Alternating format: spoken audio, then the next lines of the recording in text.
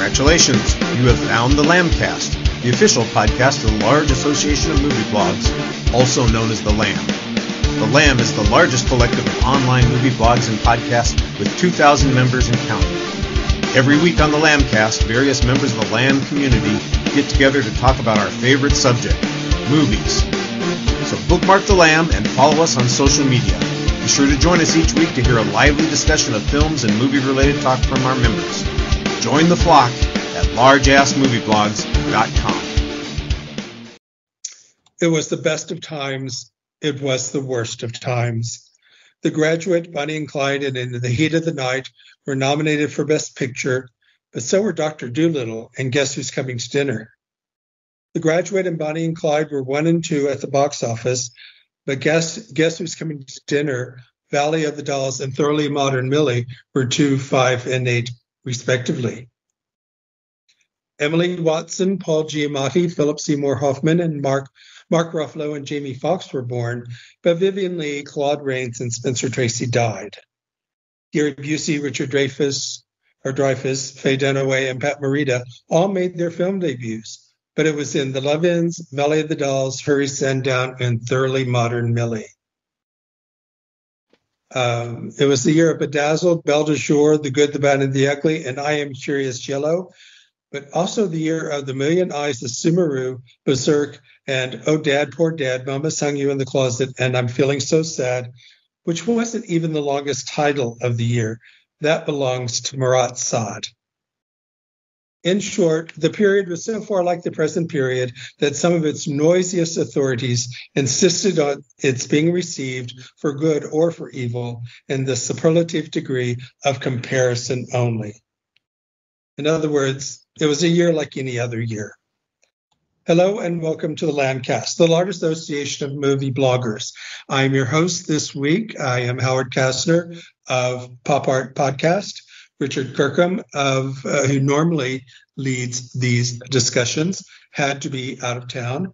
Uh, at least that's his story, and he's sticking to it. This week we are doing the year 1967 in retrospective. We will we will be giving a top five movies for that year. This doesn't mean our panelists will be choosing the best. They can choose any category they want, from top five films with left handed actors to the most boring films of the year to the most unfortunate sex scenes with an animal. You know who you are. To the top five foreign films with maybe one in the English language, but I won't say who that last one is it was me. It uh, and remember, it is a far, far better thing we do than we have ever done. It is a far, far better set of choices than we choose, that we choose than we have ever chosen. Our panelists include, sorry, Aaron Neuwirth from out, if I get any of these wrong, tell me because I'm often bad at this. Aaron Neuwirth from Out Now, Out now with Aaron and Dave, who was last seen giving a long winded speech about how he has no right to interfere with his daughter's wedding, no matter the race of the man she is marrying. Out now with Aaron and Abe, and thank you. Hi. Uh, next is David Brook of Blueprint Review, last seen being filled with a million bullets after stopping to help someone along a Depression era back road. Did it come into the? we we will maybe be joined by DM Anderson, David Anderson. Uh, we haven't contacted him yet. He's of the Free Movies Guide, and he was last seen stopping a wedding and running off with his love on a bus. And finally, we are joined by Todd Liebenow of. Okay, I can never remember the name of your podcast, Todd. the Forgotten Film Cast. Oh, that's Some people right. call it Forgotten Films. So, you know, it, it gets changed around, whatever people feel like. Some people just forget. Oh yes. Yeah, now you know, I remember. it's easy to forget. Yeah, now I remember. He was last seen wearing a sheriff's badge and carrying a black detective's bag to a train. I, you know, I, I did not do a list of my top five films with left-handed actors, but because I am left-handed, I would love to hear that list someday if somebody does it. But That would be fun. I'd like to hear the one with the unfortunate sex scenes with animals, but to each Uh, his we own. will- we will be going round robin. And so now I'm going to give you a choice. Do you want to do Pineapple Kiosk? even though it rarely comes up in these look back shows. Or we can have both panelists talk about the same film they chose. And if the second fir- person has a film they can add to their list, they can then do that. Which way, way would you rather go? I have a lot of backups, so I'm good with with uh, whatever. Well, I don't, but I, I would say, you know, wait for the higher ranking, do the pineapple kiosk. I think that rule works. But Yeah, I, I'd do that. I mean, I, I doubt there's anything going to come up, but um, but yeah, I'd, I'd say pineapple kiosk. I think uh, Fine. because I, I haven't prepared anything else. Uh, first, I have two questions. The uh, to begin, were any of you born 1967 or before? no, I was born in '71, so To that, I say F- you, F- you, and the horse you rode on. 82. Um, Next, I thought we would go around, and I have a reason for this, and say what we thought of 1967 as a year in movies overall. As you were doing your research, uh, what did you think of the year in movies? So we can start with Aaron Neuwirth, put you on the spot out of nowhere, question out of nowhere that you weren't prepared for. No, I um, if I'm looking at the year as a whole, based on the research I've done for the movies I chose, my my main takeaway is wow, men, specifically white men, are the worst. Um, in so many cases. even like even Spencer Tracy's like, oh, I guess I am kind of racist, and Robert Redford's like, I don't know about this Jane Fonda. Like, there's just a lot of like people that are making choices uh, that reflect poorly when I look at it now. Uh, I have a very specific um, theme for my list that I'll get to when we talk talk about the movies. But like the movies outside of random observations, there's plenty of classics here. I mean, there, and there's a whole literal new wave of cinema coming into America, along with you know overseas as well. So there's there were a lot of fun options that I could go with as far as trying to like assemble what I wanted to do for today. Uh, but because of how narrow my focus is, I, I got a lot of I got a lot of uh, films of not much of interest happening beyond people moving around to different areas and kind of things occur for to them. Um, and I, I chose less plot specific movies. Uh, but uh, no, there's there's a lot of fun to be had here and a lot of just color and um, Mm. liveliness and and things that are here that aren't as manufactured as they are today. And I, I really appreciated that for sure. Well, David, what about you? Yeah, I think it's an it's an interesting year. It's almost like a bit of a transitional year. There are changes afoot, um, and as you say, there's new waves moving around, and uh, it's uh, it, it's it, it- yeah, it's an interesting one. I, I've gone with a quite specific theme, kind of, but I've cheated a little bit. But we'll get into that later. But um, yeah, a, a real solid, interesting year for me. And what about you, Todd?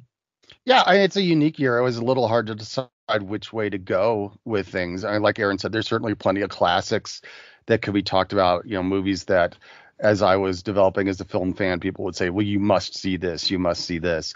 Um, at the same time, you know, when I look over the stuff that's there, I mean, there's there's a lot of interesting things when it comes to foreign cinema. There's interesting things when it comes to like you know genres like the spaghetti westerns.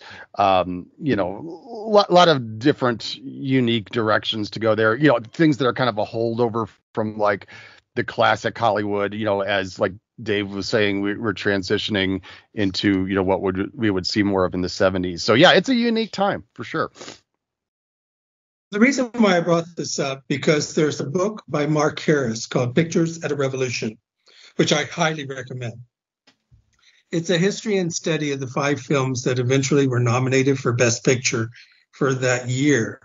And its thesis is that the Oscars that year were, or in 68, but it was for 67 films, were a reflection and even symbolic of the war between old Hollywood and new Hollywood. Hmm. And even though the final selection for Best Picture was a compromise between the two, it showed that the new Hollywood won, at least for a few decades.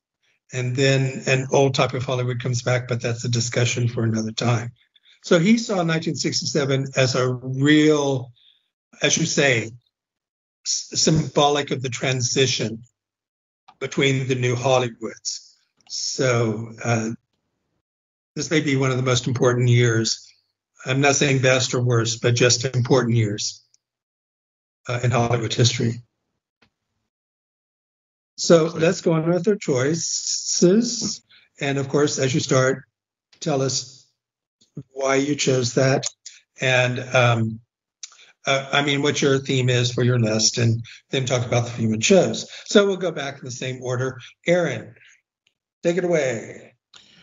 Okay. Um, well, last time I was here for what 78, um, I went with films I had never seen before.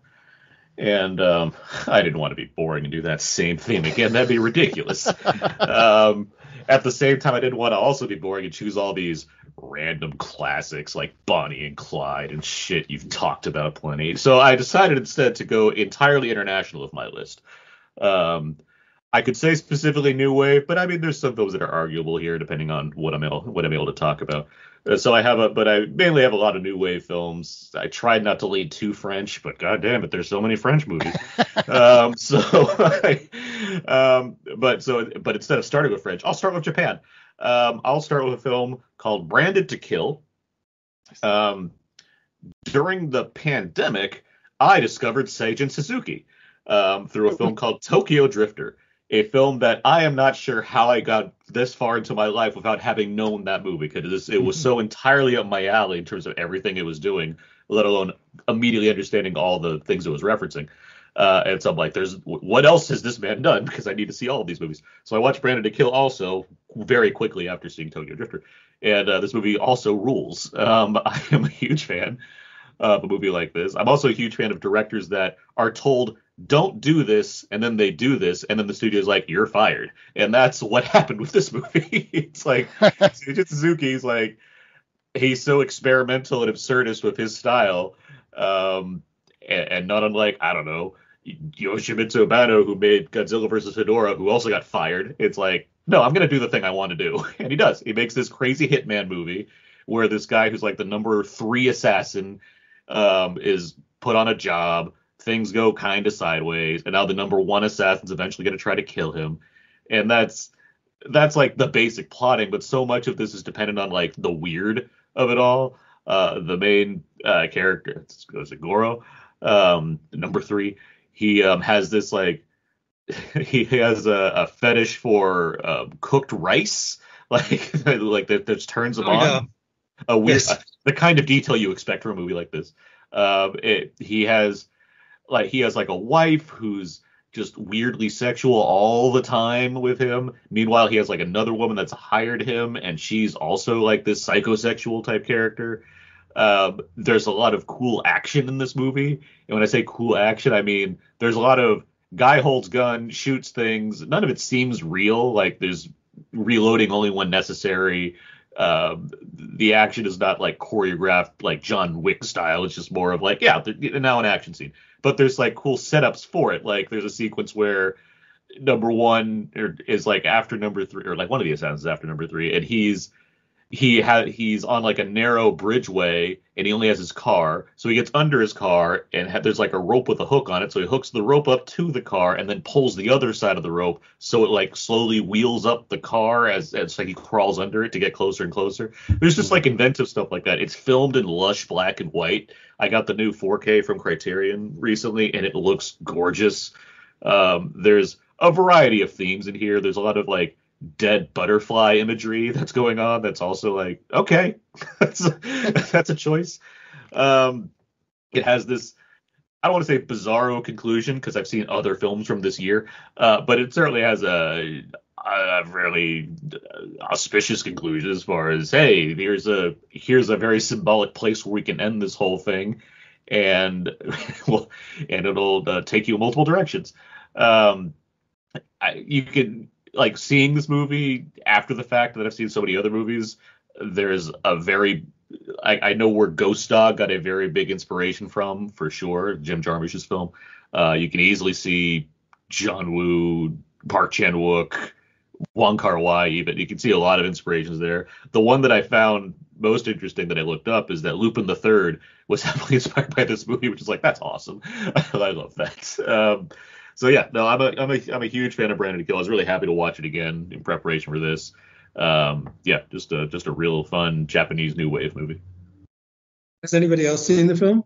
Yes, yes, I, I love this film. I, I've not seen actually no, I haven't seen this one for quite a while. Um, but I've seen Tokyo Drifter more often. I love that, and uh, Yeah. I do have I do have very fond memories of Brandon's Kill. Have you seen Youth of the Beast yet? That's that's Not that's yet. very good. It's not as wild as those films. It's it's a it, it was made before he kind of really went quite as uh, Uh-huh. out there, but but it's kind of somewhere in between. It's kind of a, a really solid gangster movie, but with these cool stylistic kind of touches. Uh, so no, yeah, yeah, I'm I'm definitely with you on this choice. Absolutely. Great. I love the I Yeah, love I've the actor as well. Oh, sorry, I was gonna say um, what is it, Jo Shishido? He, he's in he's in loads of great Japanese movies. He's uh, Hmm. always memorable with his chipmunk cheeks. Um, he, I've seen it too. It's very, very weird. Uh, so it's a lot of fun. It did get him blacklisted for 10 years because the studio fired him. He sued the studio, won, but he didn't work uh, for um, for 10 years. I I did see his earlier films are more traditional. They're very film noir. Take Aim at the Police Van.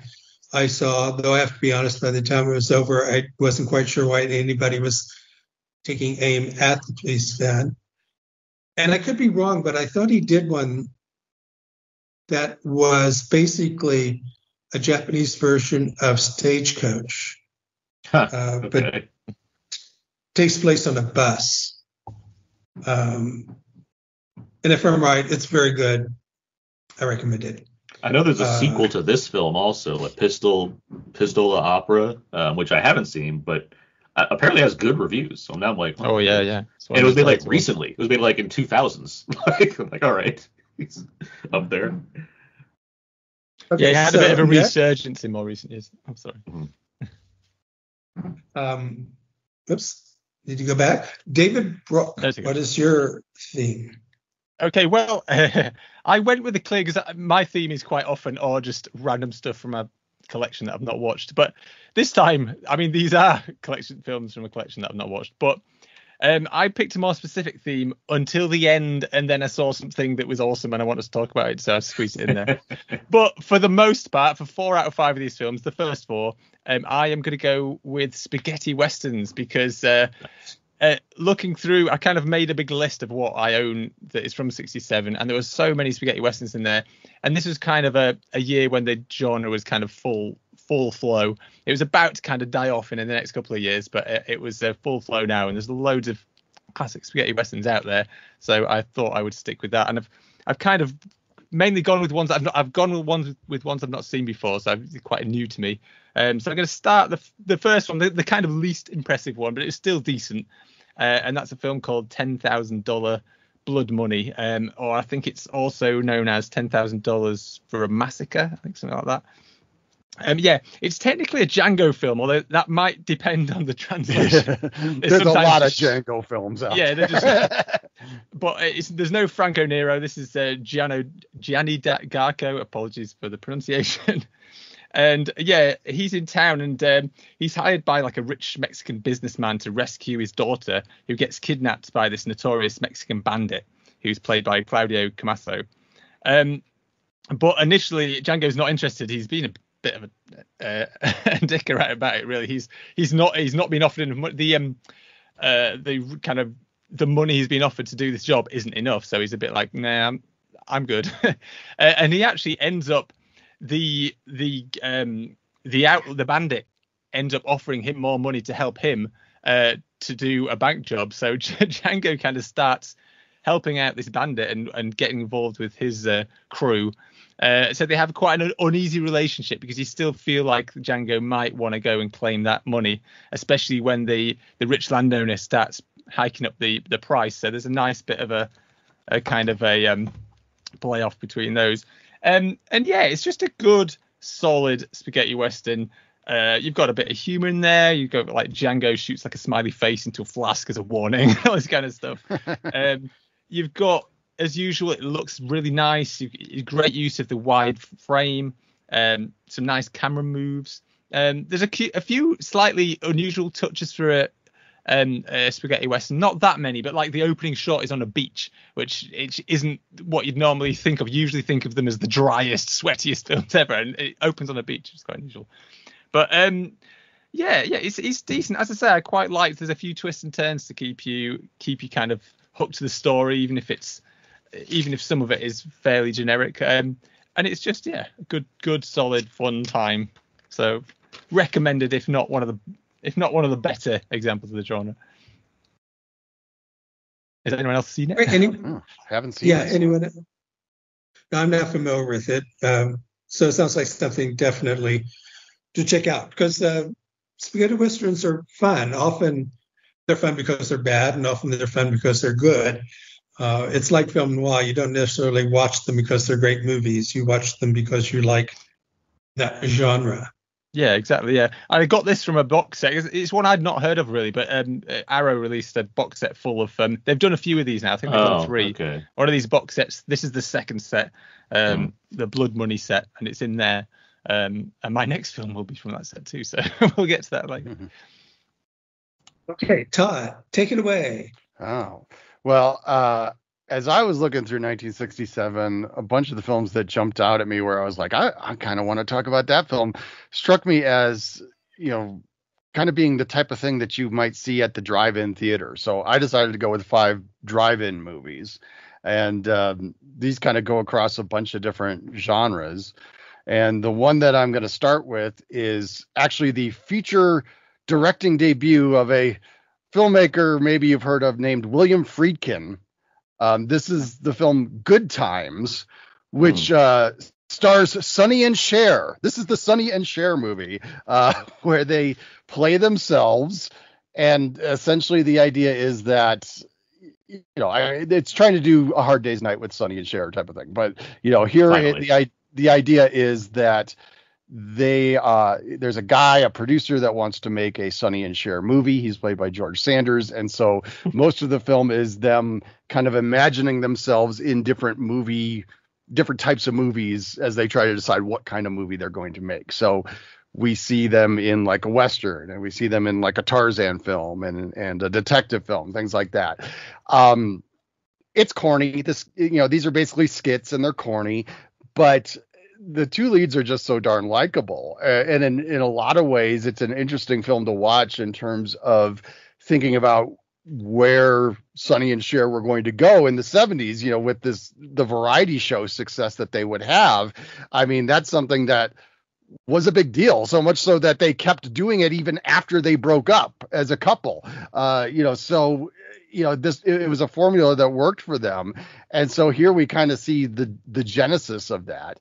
Um, part of the real charm of the film is that they have a lot of fun at their own expense. They're not afraid to look silly in this, which is something that works for them. And in fact, one of the things that's kind of funny about the movie is that, and this isn't really a spoiler, I guess, but at the very end of the movie, they decide they're not going to make a movie after all because they don't want to look silly. But the, the whole film has been about making them look silly. So I, I kind of found that fun. Um, but also, I mean, just in terms of this being William Friedkin's first movie, I mean, probably one of the most unusual things uh, in his career. Um, but I mean, he does a solid job with it. You know, he he shows a flair for comedy. It's shot in a visually interesting way. I mean, it's really unlike anything he ever did. Uh, you know, everybody's got to start somewhere, and, and I think this is a, a really interesting uh, way to begin considering where his career would would go so yes it's a very goofy film uh, but i think it's very charming So you didn't watch this and think this man will remake Wages of Fear at some point. no no there's absolutely no indication of things like sorcerer or the exorcist or the the french connection none of that comes through in this movie you know Of all people, George Sanders. Yeah. is yeah. Uh, well, I guess it means it's my turn. And What what I got usually do, Howard? mine are, huh? What you got for us, Howard? Yes, but I I usually do what I usually do. I just choose my favorite favorite or what I think are the best films of that year. So I will begin with Bedazzled, uh, directed by Stanley Donen, written by Peter Cook, and it stars Peter Cook and Dudley Moore. It's a retelling of the Faust legend set in, of course, the swinging 60s in London. A young man works at a Wimpy Burgers and he wants to ask his co-worker out, but is too scared to. So the devil offers him seven wishes in return for his soul, but every wish backfires on the young man, often spectacularly. Um, aesthetically, it's kind of dated. It looks very 60s, very Mhm. uh, sort of shaky camera documentary like look. But I think it still holds up. I think it's hysterically funny, you know. And remember the the secret word is Julie Andrews. so I actually just watched this fairly recently. I, you know, I've seen the remake many times. Um, Many and times. many uh, times. it's just, well, it's one of those films that popped up on cable like all, all the time. It's like, oh, look, there's Brendan Fraser singing about the seals again, or whatever that scene. I don't remember. But um, anyway, this film, I agree. I think it's it's it's pretty funny. Uh, though I do, would say it loses some steam in the third act for me. But I thought the the the first two acts of the film are, are quite funny. With that, whoops, we are back to Aaron. What you got for us? Um, all right, man. By the way, uh, Stanley Donen super busy in the '60s. I was just looking at his because I, I looked. I was like, oh yeah, Bedazzled came out that year, but it's like, geez, Donen just didn't stop working. Like he was just No. constantly at it. Uh, my Well, next the- film. Mhm. I was going to say he was very big and very important in making musicals in the 1950s, and then that Yeah. sort of died out. So yeah, he moved into other things and made a lot of films. Yeah. it just it just didn't hold him back. He's like, I, I guess I'll go with the musical thing, but I'm still gonna like just keep making all, everything. Um, anyway, uh, my next film is a film that I've I had not seen until recently. I've been wanting to see it. I wanted to see it specifically projected in 70 millimeter, which I almost was able to at the Egyptian Theater over in Los Angeles, uh, but I just couldn't make the time. But it is Playtime. Uh, Jacques Oh, Tati's. sorry. Hmm? Pineapple kiosk. Oh. You stop me right there. Yeah. We actually had a pineapple kiosk here. Wow. So we'll talk about it later when I bring it up. All right, then I'll go for another French film. Uh, Okay. The young the young girls of Rochefort. Okay. Nice. Good, yeah. another Jacques, uh, Jacques Demy. Um, I also had not seen this film until recently. I'd seen The Umbrellas of Cherbourg, uh, which I really really like. Uh, and now, why I didn't get to this sooner, I don't. I just I don't know. A lot of things come up, but it's like I I'm so into what Demy's doing as far as the, the way French musicals sound to me is just honestly just more intriguing than most musicals. I just like the way it sounds, um, you know, regardless of them reading the subtitles just or just listening to how it all plays out. Uh, and it just I like the way, at least in these two films, he's incorporating music in such a a frequent play pace, um, where it's obviously there are like set pieces or what have you, uh, but the way music just informs so much of the body of the film, I find to be just impressive and really enhances the world in the right kind of way. Um, as far as like the movies, I mean, it's gorgeous. It has just such a great use of color, as I find most European films from before 1972. There's just such a the way color looks to me in these movies is just always like intriguing and fantastic. Uh, you have a number of people here. You have Catherine Deneuve. You have George Chakiris, uh, you know, playing an actual white man and not being put in brown makeup. Uh, you have Gene Kelly just showing up. Who's like, why not? And that was a surprise to me. Uh, the the plot is more like expand. Yeah. You have also Françoise Dorléac, who is Catherine Deneuve's sister. Yes, you have the, the actual sisters playing And- sisters in this movie. Yeah, and she died very young. Um, yeah, the, the actual plot is like more expansive compared to Cherbourg, which is, you know, it's it's focused on two people. This one is like here's multiple plot threads and what have you. Um, and like I find the plot, like the plot's good. Like it's, there's nothing wrong with like the story and what it's doing, but it's just more of the style and the look of the whole thing, and just this constant like it, five minutes in, I'm like I'm gonna like all of this because it just has a certain tone to it uh, that's just really engaging keeps me just my eye on the screen and just watching all you know all the different dance numbers and songs what have you even with the I mean, I guess it's a musical. Most of them are ADR anyway, but like there's just the way the the way you hear it, the way the sound plays in, the way there's scenes of characters going through a whole dance number or what have you and walking around and then they hop into a car and drive off and they're still singing like there's just stuff like that that just feels really interesting to me as far as how to make a musical number work without feeling so pronounced in the way that you see them in a lot of hollywood musicals it just i, I really enjoyed this movie a lot So, All right. No, it's it's a really sweet. It's a really fun film. Yeah, it's, it's, it was my But- first Jacques Demy uh, film, and I, I love it. It's still my favorite. It's uh, it's it's it's a wonderful film. It looks incredible. I, I do enjoy the songs. I, I actually ended up because I ended up I reviewed the the whole. I went through the whole box set that Criterion did, and after that I went and bought the. Um, the there's a really nice box set of uh, CD box set of the music that um that uh from his films that um oh my brain what's his name the guy did this the music for that um oh um, Oh, Michel. something. Michel Legrand, he didn't do that, did yes, that. y- Yes. michelle yeah you're right yeah, Yeah, yeah, yeah. That's the one. There's a really nice set with all the music that, that he did with Legrand in there, and it's uh, yeah, yeah, another another great choice. Uh, I think it also should be noted that he is married or was married because both have died. He died relatively young of complications related to AIDS, but his wife is Agnes Varda, who's Oh. one of the great French film directors. Yeah. Um, uh, Todd's turn. Oh, it oh, is and I think turn. it's, it's Oh, no, it's Is it me next? I think actually. Yeah. Oh, who did I miss? me, Dave. David. Dave. David Brook? yes. Oh, sorry. I thought that was you. oh no, I was just butting in at the end of the. Okay, take it away, David.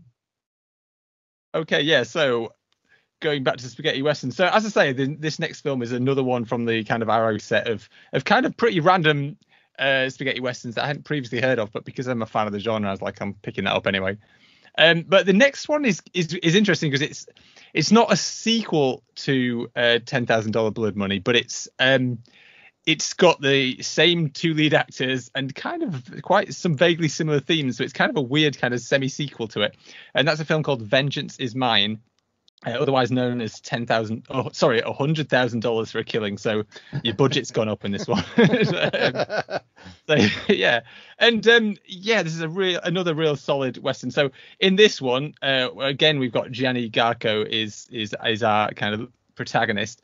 Uh, he's a, he plays a guy called Johnny Forrest, and uh, he is he's just come out of uh, jail. He's been there for ten years, and um, his his mother gives him a final wish in her dying moments uh, that he she wants him to find his uh, half brother Clint, um, and uh, and he, to she wants to bring him to justice because he's gone off the rails. He's become a, a, a kind of a, a bandit and stuff, and uh, he's he's yeah he's he's a bad guy.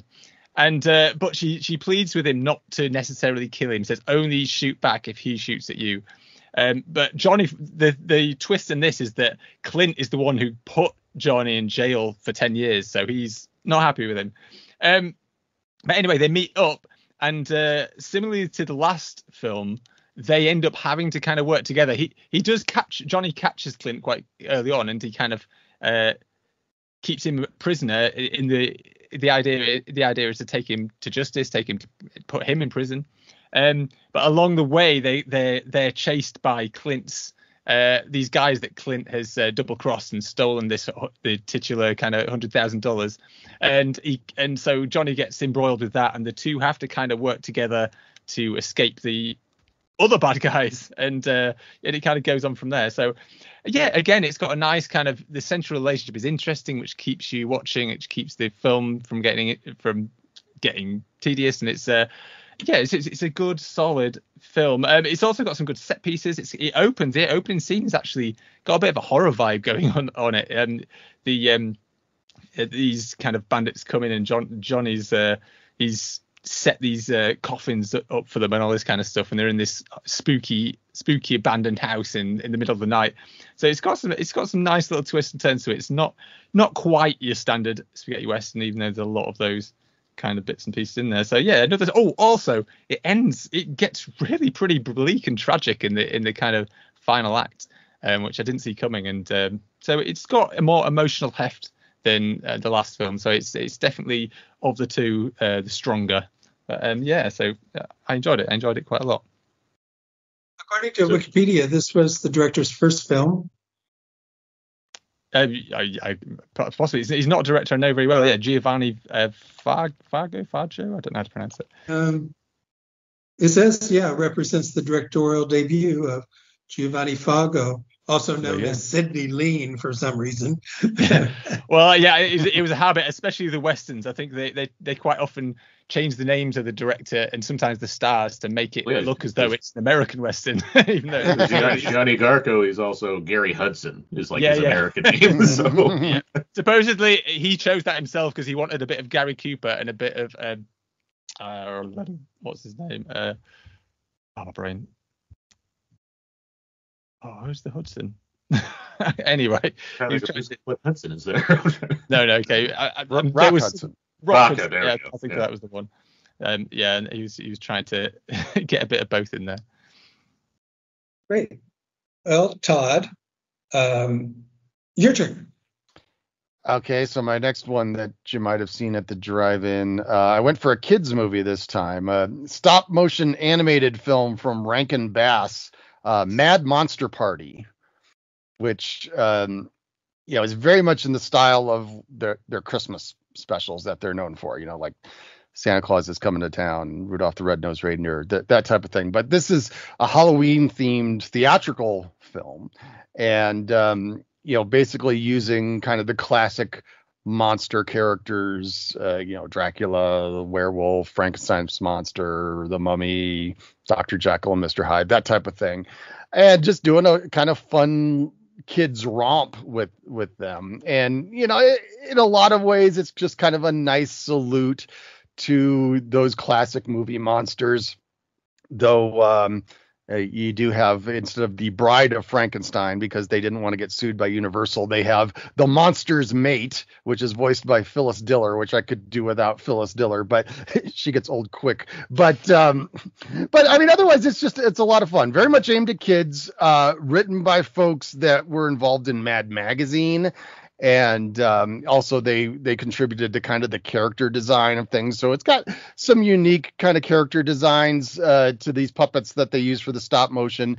It is a little bit jerky when it comes to the animation. I mean, you know, the, the Rankin Bass stuff, you know, doesn't look the same as like the Nightmare Before Christmas. It doesn't flow with, you know, the the kind of graceful movements that they have in those films. It, it was, it, you know, somewhat crude. But it, it gets the job done. You've got some fun voices going on. Uh, Boris Karloff shows up because Boris Karloff would always show up. Um, you know, uh, most of the voices is being done by Allen Swift, and they're they're really really good. Um, there's some fun musical numbers to it, you, which also kind of nod to what was popular at the time in 1967. There's this band of mop-topped Beatles-inspired skeletons who Nice. have a band called Little Tibia and the Fibias, which just kind of love that. Um, so yeah, I mean, it's again, you know, kind of similar theme to my first pick there. You know, it's n- not a great movie, but it's kind of goofy fun, and you know, certainly one that's a lot of fun to watch around Halloween time, um, and that the whole family can enjoy. What I find interesting is actually the title isn't Mad Monster Party, it's Mad Monster Party. Yeah, there's a question mark on the end. Yeah. There's a question mark at the end. I kind of feel like I saw this when I was a kid. It's like the, the name sounds familiar, but um, I can't remember. It was a long time ago. I, I've seen this poster and I'm always like, I need to watch this, and I never got into it. It's streaming? Is it like available? I'm not sure if it is. I know for a long time it was kind of hard to get a hold of, and I remember it showed up back when like Netflix first started doing streaming. It showed up on there, and I- you know, back when Netflix did movies that were old uh, on there. Uh, but you can um, rent it, but yeah, it's not like streaming free right yeah, now. I- yeah, right now it's not on any streaming services. It looks like. My next one is a French film, uh, Le Samouraï, Oh, nice. Mm, good written, pick. Good pick. written, and, written and directed by Jean Pierre Jean Pierre Melville. and starring Alain Delon. Melville was one of the big neo or French film noir, French noir uh, directors of the time. Um, this is one of his his best movie is not a noir. It's, it's Army of Shadows, which is a World War II story, but this is perhaps his second best noir after uh, Bob le Flambeur or Bob the Gambler. And it follows two characters, a hitman uh, played by Alain Delon, who is trying to find out who hired him for a job and then tried to have him killed, and a Parisian a Parisian commissaire trying to catch him. One, of the funniest set pieces for me, I've seen this three or four times, is whenever you're in the police offices, the commissaire just goes from office to office and office and office around in a circle. I'm going, well, that's, I get the symbolism. He's just going around in circles trying to catch this guy. But it's a very interesting um, piece of architecture. Um, I find it riveting. It's incredible to look at. It's very influential. I mean, you can see the influence in movies as recently as The Killer. It's it's a captivating movie. We, I remember we did it on uh, as a movie of the month a few years ago, and it was one of those cases where just everybody was just kind of just awestruck by the film. So this was um this was my number one pick when I chose my theme, and I'm also like, this will probably come up, so I didn't want to like actually talk about it for my main thing. Uh, there's no one cooler than than Delon uh, in, in, this year, let alone probably this decade. And this is a, this is a year that literally has a character who's named Cool Hand Luke. So I mean, like, this Delon is so cool in this movie. Just watching him, I literally have it playing on mute in the background right now as we're recording this podcast. like mm-hmm. I, I love The Summer. it is outside of like one or two other movies. It's my favorite film of this year. I think it's just wonderfully assembled. The atmosphere is terrific. It's probably my favorite Melville film, but yeah, Army of Shadows and one or two others are certainly vying for supremacy as well. But no, I, I think this movie is absolutely fantastic. Yeah, agreed. It's, it's incredible. It was a difficult year for me to determine the five in order. And as you mentioned, Le Samouraï is your favorite. And yeah, I mean, it was a hard decision for me to where to place it. I think I interrupted somebody. Um, did I interrupt you, David? No, no, I was just agreeing that it's an amazing film. That's that's all.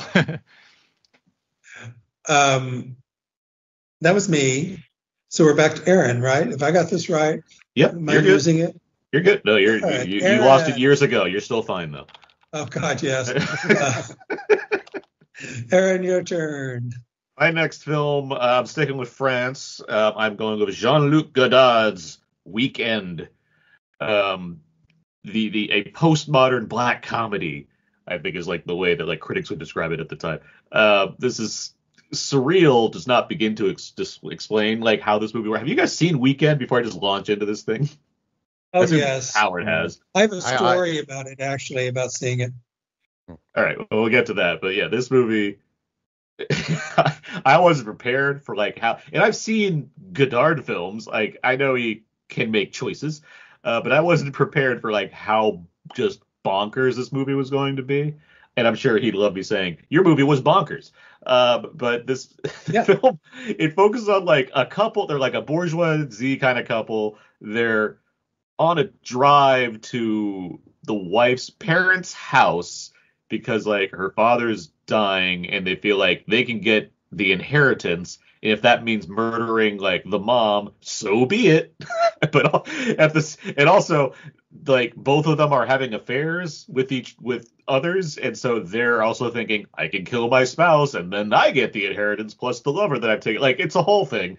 Um and that's saying the plot is like yeah okay there's a plot i guess. The movie itself is like so much imagery here is presented in a way where it throws you off of your rhythm. Like just when you think you have an understanding, it just sends you further down the rabbit hole. And I say that very literally because Alice in Wonderland is a key reference point in this movie, a movie that's set in 1967 France uh, that has so much fantastical stuff in it. You encounter literal like French revolutionaries along the way, just hanging out in the grass or whatever, just talking and stuff. There's a lot of car crash imagery in here a thing that you might not have expected me to say as my next sentence, but that's true. Um, it, to the point where it's very gruesome. You'll have them just like stuck in traffic or like walking because their car eventually gets trashed, and you'll just like encounter these fiery car crashes and bodies strewn all over the place. Uh, there's a lot, there's a lot more gunfights than you may expect for this movie. um, there's a lot of um, because of the 60s there's a lot of like title card placements that happen to break up the editing and like change up the momentum of the film uh, there there are so many choices being made here where the first half is largely farce uh, despite having kind of a sense of macabre to it and then the second half becomes this like revolutionary screed where you have them encountering like these hippie characters and things happen from there that I won't detail just because I don't want to give too much away that's going on in this movie. But uh, it's a uh, it is a wild film that I, I, was not expecting like how far it would go in in kind of delving into the the varying themes that it had about I don't know humanity and, and what have you. Um, knowing like other like um, Godard films like uh, was it like Breathless or um, what's the what's the one that I'm thinking of uh, that just got released again? Um, the clown makeup. What the what am I thinking of? Um, uh, Pierrot le Fou. Oh, yeah. Pierrot le Fou. Thank you. Thank Jesus. I'm trying to think. Uh, like those ones, they felt less. They weren't throwing me off as much compared to this one, where it's like every ten steps, I'm like, oh, okay, I think I got her handle on this. Nope, never mind. It's going somewhere completely different. So no, I I enjoyed this movie. I think it's quite interesting for sure, but it certainly caught me off guard as far as how avant-garde it would actually be. Well, yeah, he was a postmodernist before postmodernism really became the thing. Um, I first saw it in college, and I was already a Godard fan. But I have to be honest, even though I was a big Godard fan, I saw Weekend, and I didn't get it. I didn't understand what the point was. I didn't this, you know, whatever. Then I moved to Los Angeles and after a few years living in Los Angeles, I thought, well, I'll give it another try. And Weekend is that part of the satire Weekend is that every weekend, the bourgeois, the Parisian bourgeois, go to the country. And they're maniacs in how they drive. Mm-hmm. So I lived in Los Angeles for three or four years, and I go, oh my God, I get it because the drivers in Los Angeles are maniacs and they're just as bad as the people in this movie. And finally, I got the joke. I understood what the joke was, and it's it's really uh, it yeah that first half is really very very funny. Uh, if you've ever lived in some place like Los Angeles where the drivers are just you know they need to be certified, and then it becomes very weird in the second half. Yeah. Mm-hmm. Anybody else seen it? No, I, I, must admit I'm not a big Godard fan, but this is one that um, has always intrigued me. It, feel, it sounds like I should give it a try. It sounds wild enough to kind of uh, yeah go for. It's got that going for it. Well, it has that road long. rage scene at the opening. That's very yeah. funny. Yeah, there's a, there's a good amount of humor in there that I, I was quite appreciating for sure. Yeah, and Godard eventually became a almost full blown comedian, a comic director.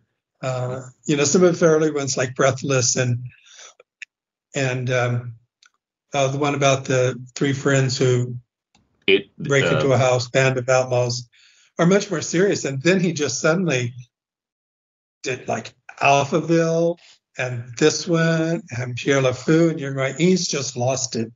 Thank God he's lost it, but he's just lost it.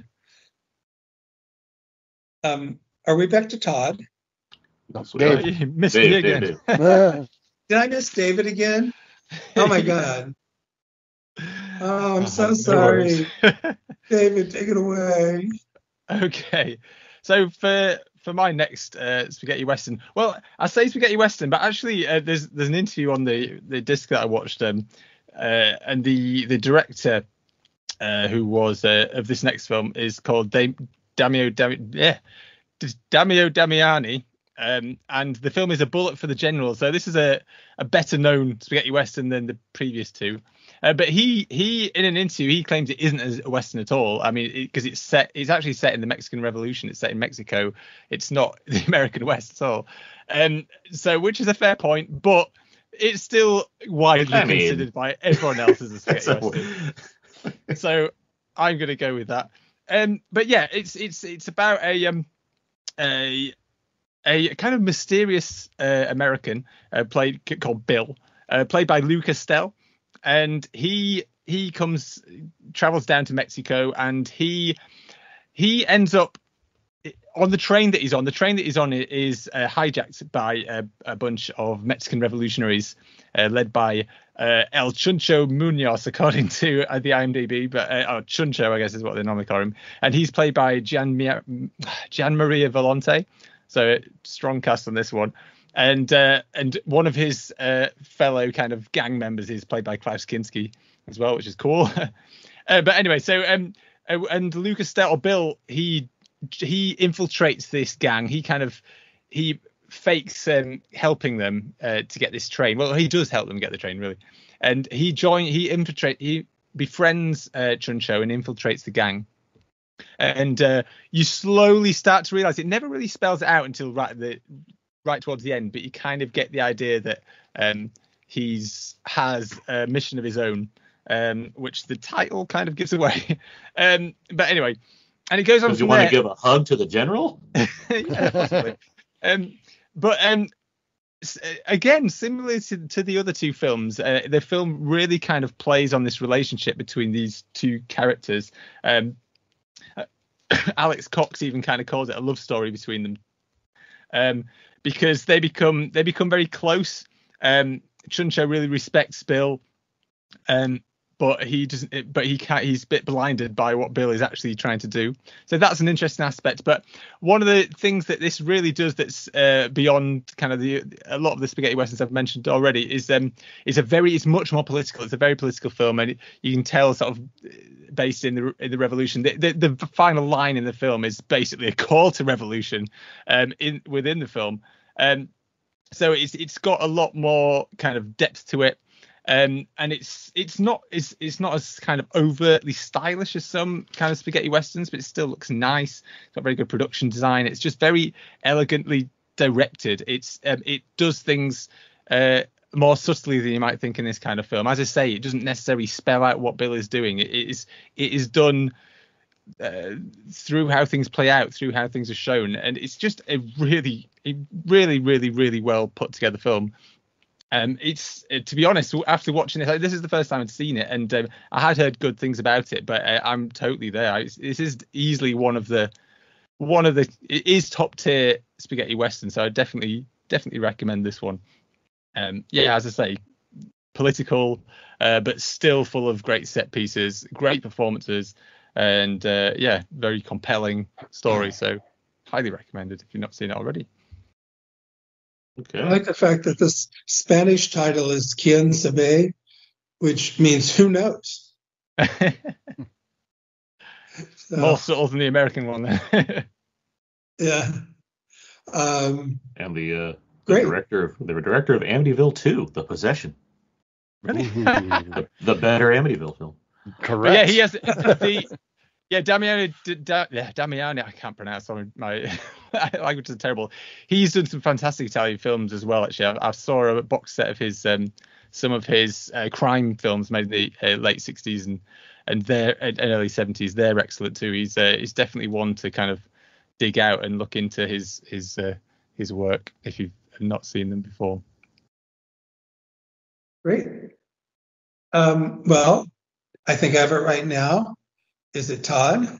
Yep, yep, that's me. Okay, I got it right.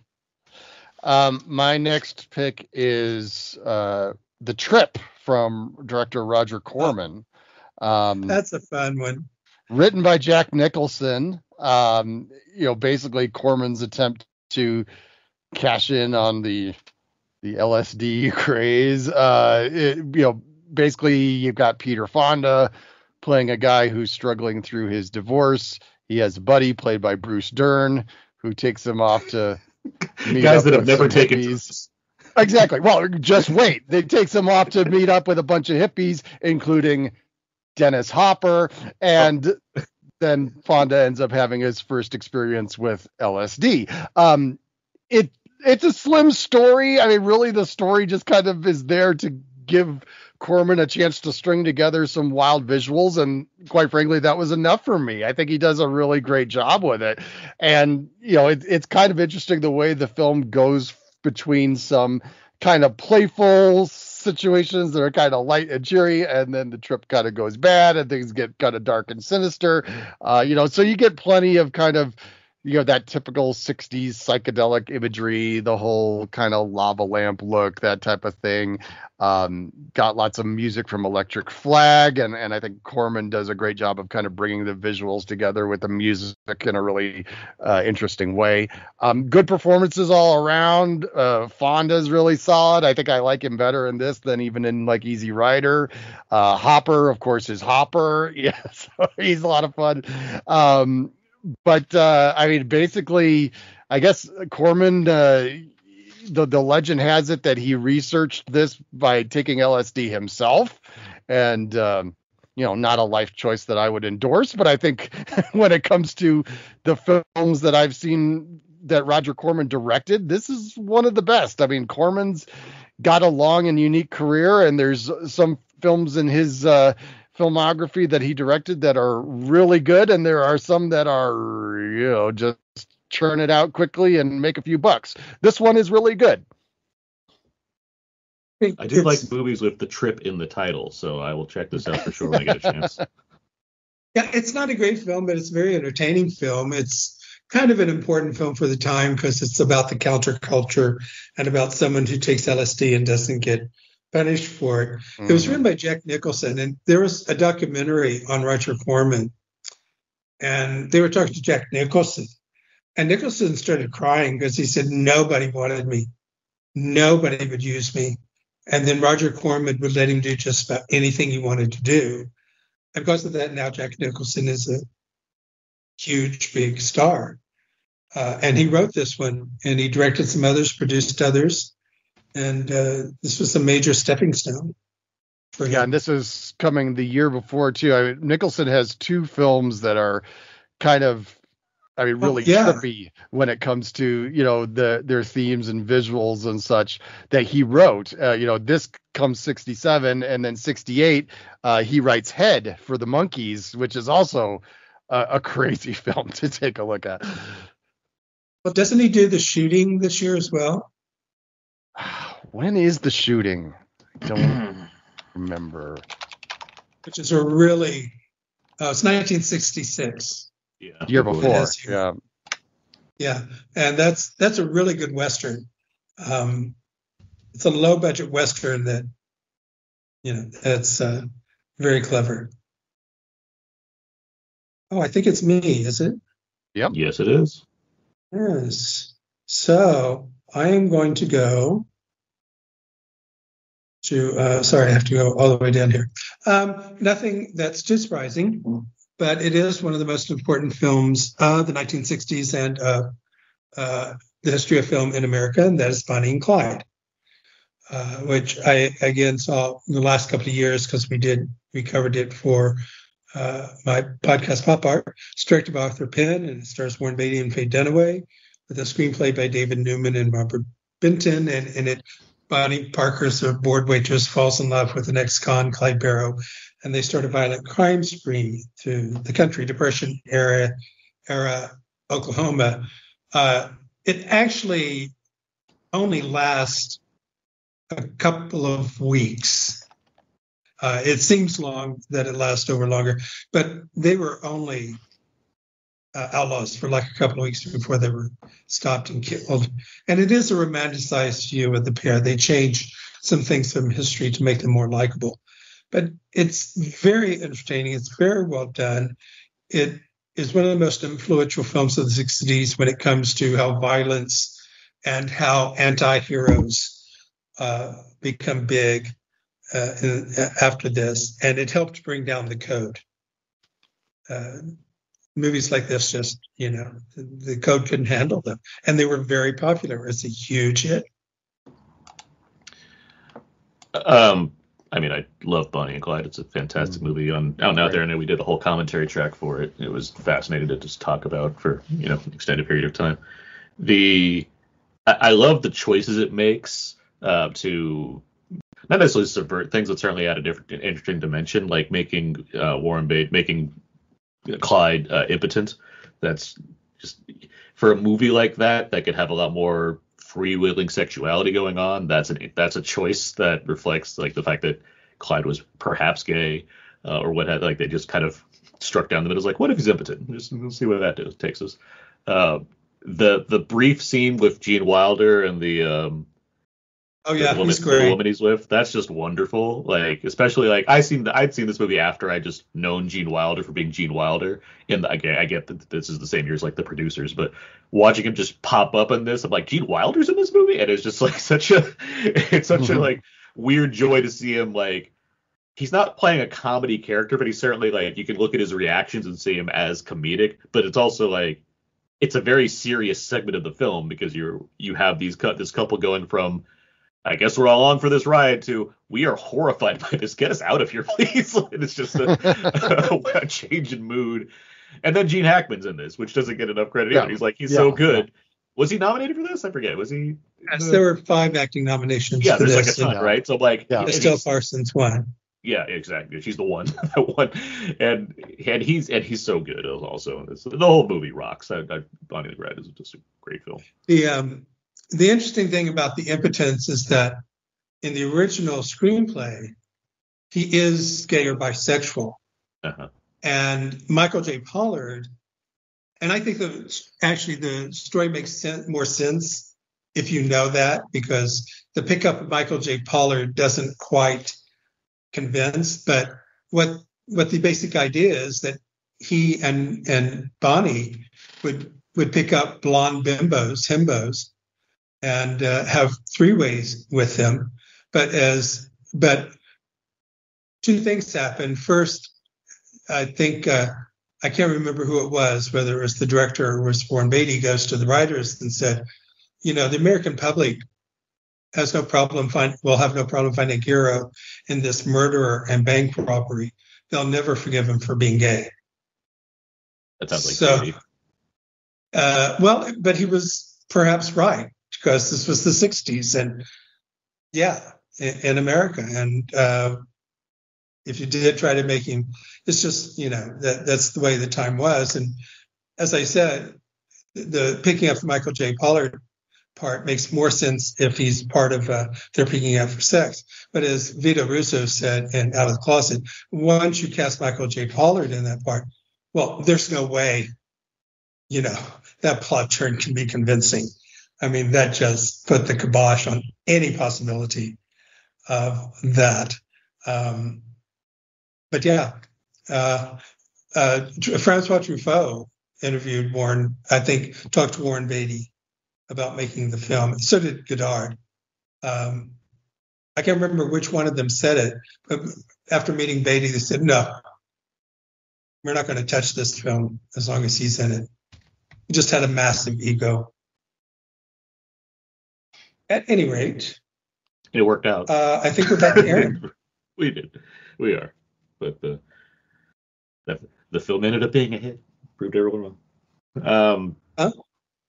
the, the the movie ended up being a hit and proved everyone proved a lot of people wrong as far as or at least it was popular with the kids. That's more the the way to go. Oh, it's huge. It was huge, especially at first. It didn't. It got terrible movie reviews. Yeah. Reviews. Except And Ebert. Ebert do was all about it. Ebert was like, "This movie rules. You guys are ridiculous." Uh, So did thing. Pauline Kael. Yeah, Pauline yeah, yeah. Kael's review really helped. So they re-released it, and that's when it became really, really big. So Mhm. and they got all the Oscar nominations and was, I think, number two at the box office. Graduate, I think, was number one. Graduate was yeah, Graduate was by, like by far it was a huge hit. Um, my next film is uh, I'm going to move away from France for a bit. I'm going to go to to sw- to swing in London uh, for Poor Cow, um, a, a film that I've been wanting to see since every time I watch Steven Soderbergh's The Limey, which uses clips from Poor Cow to reflect Terrence Stamp's early life, which I always thought was a clever bit of thing, even though I hadn't seen the actual movie that this is from. Um, I'm not going to say that this movie is way different than what I expected it to be because I'm like, ah, it's a 67 Ken Loach film. I'm, I'm sure it's probably not going to be a, a, a, super cool heist flick with Terrence Stamp or something like that. Uh, but it is, in fact, a, a, very much a Ken Loach, his debut film, for one thing. Um, but it certainly fits with the other Ken Loach films that I've seen as far as being this, like, depiction of socioeconomical struggles and class structures and how some people try to fiend for themselves despite everything going on around them.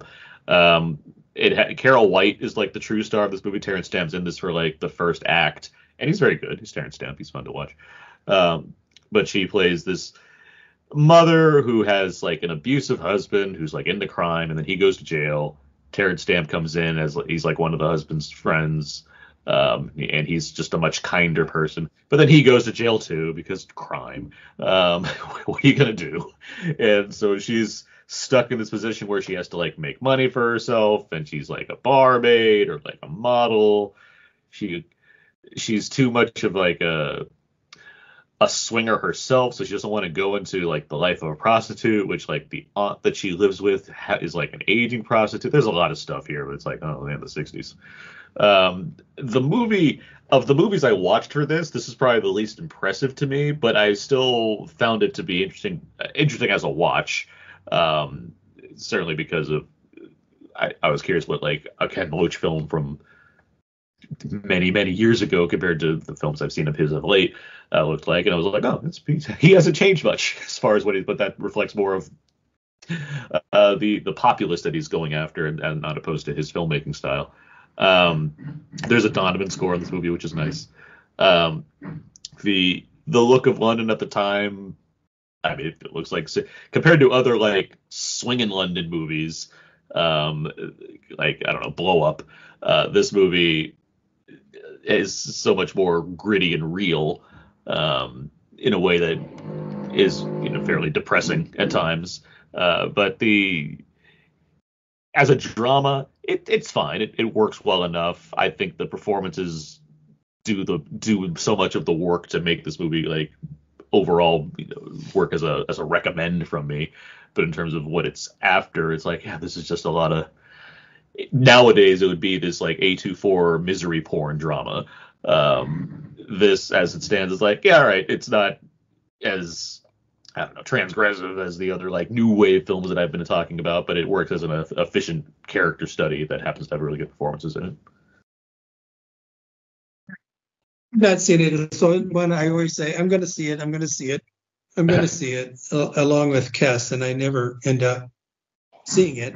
I've seen a number of his other uh, films. It came at the end of the kitchen sink, yeah, uh, working class uh, dramas, which, which stopped once swinging swinging London took over. The economy got better, and London was the center of everything uh, stylistically and thematically, and people didn't want to watch the uh, the depressing kitchen sink movies anymore. And we now got the swing 60s in London. So yeah, it was sort of like, you know, but he managed to keep making films, as you say, without changing much over the years. He's always been with the working man. He's always been with the poor. He's always been a socialist or a communist. Mm-hmm. Um, and he must, never really has changed. No, I must admit that's partly why I'm not a big Ken Loach fan. I do love Kes. I adore Kes, but anything else I've tried to see from from Ken Loach, I've just struggled with. I just find them a bit heavy-handed, and he's just kind of putting out the same spiel. I don't find him a very interesting uh, director as such. But as I say, he often has good, strong performances in his films, so they're quite often watchable. But I do struggle. But Kes though gets me every time. It's uh, yeah, it helps that it's set kind of not a million miles away from where I grew up, uh, up up north, and uh, yeah. But but I, Poor Cow is not is one I've not seen actually. So um, it's one I, I keep being tempted by, but because of my hit and miss of kind of relationship with Ken Loach, I've, I've avoided it. Here's the thing about Ken Loach. Moving furniture in the background. uh, no, there's some work going on in my house, oh. and it's Mike's picking up more than I thought it would. Oh, okay. um, the thing about Ken Loach, though, hilarious guy, tells jokes all the time, fun at parties. no, made that up, not true. It's probably really boring. I, I think that yeah, I, I, I like Ken Loach. his films don't often rise above what they are. Uh, so actually, I think Mike Leigh works much much better for me. Sure. Yeah, same here, absolutely. Yeah. Yeah. Um, but I've always wanted to see that. I've always wanted to see Casson for whatever reason. Uh, David, this time I got it right, right? I didn't skip you. Yes, you got me right. It's this your time. it is my turn. Ah, turn. victory. My memory's coming back. Well, I, as I, I mentioned earlier that I didn't pick five um, spaghetti westerns, so this will be my last spaghetti western, and uh, this is uh, Faccia a Faccia, uh, otherwise known as Face to Face. Uh, so this is by Sergio Sollima, and it's it's one of three films he did with uh, Tomas Milian, uh, the others being Run Man Run and the most famous of the three, which is the Big Big Gun Down, and. Uh, it's a fantastic trio of films really and, and this this stands up to those. So um it it, it, begins it, it unusually it begins in a classroom and you have a history professor uh, giving a lecture to some kind of young men and he um it, and what happens is this he he is very poorly um he believes he's dying and uh and this uh, this teacher he's played by Gian Maria Vol- Volonté again and uh, he he because he's he, because of his ill health he has to retire early and he moves to Texas um because the heat the sun is supposed to make him feel better. And whilst he's kind of lounging around uh, in Texas he ends up being taken hostage by a notorious bandit uh, played by Tomas Milian and weirdly, all these spaghetti westerns I seem to have been watching from this year have a similar thing going on, where you have this weird relationship. It's kind of a an odd couple relationship. Um, but what this film does, um, again, it's quite political, and uh, what this film, it's all kind of about uh, power and ambition. And what happens is this.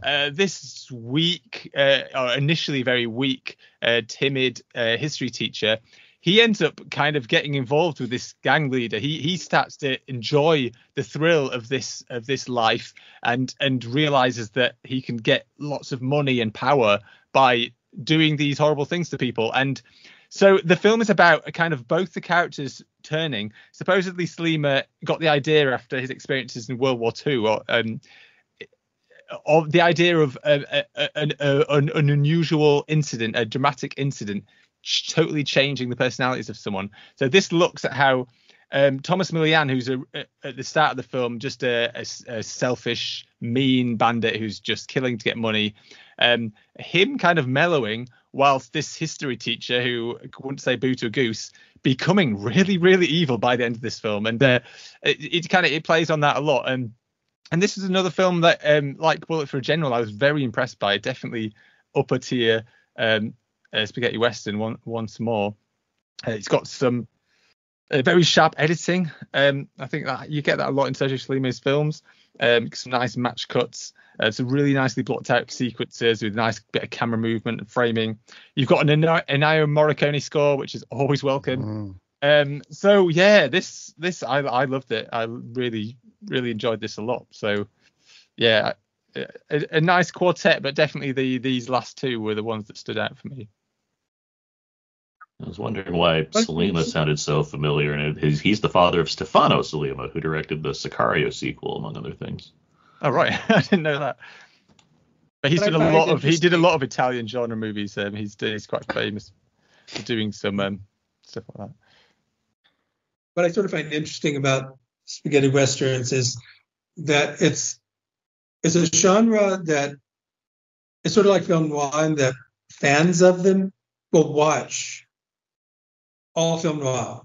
It could be Hmm. terrible and be not.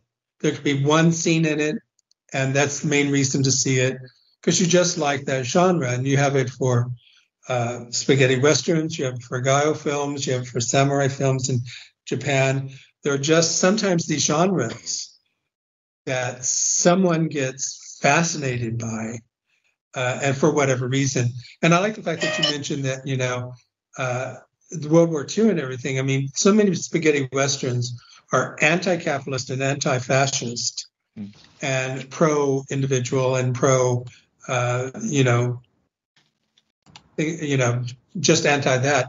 And it makes sense with World War II and the rise of the mafia that you have these spaghetti westerns that are doing nothing but attacking uh, these kind of, you know, fascistic organizations. Yeah, But And I can was- see why. and with what was going on in Italy at the time, I guess it was kind of bubbling up, and there's there's all the violence and things they had in the 70s that had come soon after the spaghetti western boom, and, and the cinema changed with that too, because uh, you ended up moving away from the spaghetti westerns and into the Poliziotteschi uh, films, the kind of cop cop movies. Um, they they quite often do reflect what was going on in Italy at the time. So it's it's, it's always interesting to see. They even if they're dismissed as kind of genre movies that they because Italy had a, a tendency to find a genre that's popular and just ride it to death. like they do, they made hundreds of these in the space of just a couple of years. Um, but yeah, as I, as I learned going through a bunch uh, this this last couple of months, is uh, there's some there's plenty of gems in there, plenty of gems. But but like you mentioned, I am I'm one of these people where there's certain genres I just I, I still enjoy watching them regardless. For me, westerns in general, I I, I do love a good western. I'll, I'll stick on any. Um, and film noir, in fact, and martial arts movies, as, as most of you know if you've heard me on this podcast before. Was um was face to face in a box set or how'd you how'd you watch it? Oh no, this is uh, this is one I I just had on DVD. It's uh, it was Yeah. released by Eureka a long time ago, but I think it's out of print now, so I'm not actually sure how to get hold of it these days. That won't stop Um, me. I'll find it. Yeah, but yeah, Eureka did. Eureka put it out on DVD. It's not had a Blu-ray that I'm aware of, in, not in the UK at least. Uh, but it's, it's well worth checking out. I, I enjoyed it a lot. We really want to know what's going on underneath the surface of a country, or, for example, in America, what led to the 60s. You don't go to the big budget No. films. You go to the B films, you go to the film noir, you go to the sci fi horror films, and you go to the revisionist Western or psychological Western ones, the B films. The B films will tell you how people are really feeling in a country. Yeah. You, you, you Uh, didn't go you didn't go to Doctor Dolittle to find out about America's obsession with top hats and animals? Um, Todd, Well, speaking of B films and uh, and also genres that were run into the ground, uh, you know, at the drive-in, a lot of times you would see biker films. So uh, we're going to go to the film that introduced Billy Jack to the world, The Born Okay. Losers, um, released by American International Pictures, of course. Um, the credited director is T.C. Frank, though that's just an alias. It's Tom Laughlin, the star, uh, who played Billy Jack and would return to that character several more times. Um, the film is about a biker gang called the Born Losers who are terrorizing the poor citizens of Monterey, California. And um, they end up crossing paths with Billy Jack. And of course, that doesn't go well for them. Billy Jack is, of course, he's a half Indian, Green Beret, Vietnam vet. And, uh, you know, he doesn't like to see uh, people uh, get roughed up. And he steps in to, to take care of things. And this actually gets him into trouble. He gets thrown in jail trying to do the right thing. Um, and then when he gets out, he he goes back after the uh, the the bad bikers and all that kind of stuff. Um, I, it's a film that has a lot of the kind of mayhem and such that you like to see in a biker film, but you know, there's a bit more to it as well. I, I one of the things that stuck out for me with this is just the the colorful characters. Uh, you know, the the biker gang for one, but I mean Billy Jack. Billy Jack is just such a cool character. I, I totally get why Tom Laughlin latched onto this character and kept wanting to play him as many times as he could. I mean, he made three more movies as Billy Jack, and there's a fourth one that I guess I don't know how far into production he got, but it didn't get finished or whatever. But he loved the character, and that comes through in this. It, it's a cool character. Um, the the film in general is just a unique look into the biker gang culture. Uh, it's got good use of locations. I when it comes to to biker films, this is one of the go-to movies. And um, I mean, I, I I actually I had seen the follow-up film first, and I will say I think that the 71 sequel, which is just called Billy Jack, is a better movie. But the Born Losers, seeing where it started, still a, a very entertaining uh, entry in the biker film genre. But I've the only seen bike, Billy Jack. I saw it when, when it came out. That's one of the few films uh, that I saw, you know, when it came out, and uh, it's very entertaining. It's not very good, but boy, it was entertaining. It made a lot of money, and people my age, teenagers, really loved it. The, the biker film genre seems like such a bygone era of film, like more so than westerns, more so than, like film noir is just like there's an obvious like, and even that's kind of comes back with neo noir every so often. Biker film seems like such a very specific time and place where mm-hmm. I don't know if like youth of today, I'm not that old, youth of today will watch, will like think of the idea of there was a time when there was a genre just focused on people on motorcycles. That was a thing. Like that seems like such a, a curiosity by comparison to other film genres that exist out there. Yeah, yeah. I think that's very true. I mean, we still we had the television series um, Sons of Anarchy. about the bikers, huh? Sons, of, of Anarchy. Anarchy. And we'll find out how well it does when what's the movie that's coming out? the, the Bike Riders of Jeff Nick Jeff Bike Nichols. Riders. We'll see how well that does box office. But even then, that's like more, you know, art house character drama that happens to be about a road, Right. as opposed to Right. the whole thing is these are guys and they're on bikes. There's a plot. Like that's that's like the extent of the genre. Well, that's postmodernism for you. Take the really the B films, the exploitation films, the grindhouse films, and 20 years later you make A films, you make art house films out of it. And yeah, that's, that's, what that, postmodernism. and that's what I was saying about like at the at the at the top as far as watching 67 movies. There's a lot of just the plot is so inessential, and it's largely groups of people gathering to either argue, talk, or banter with each other.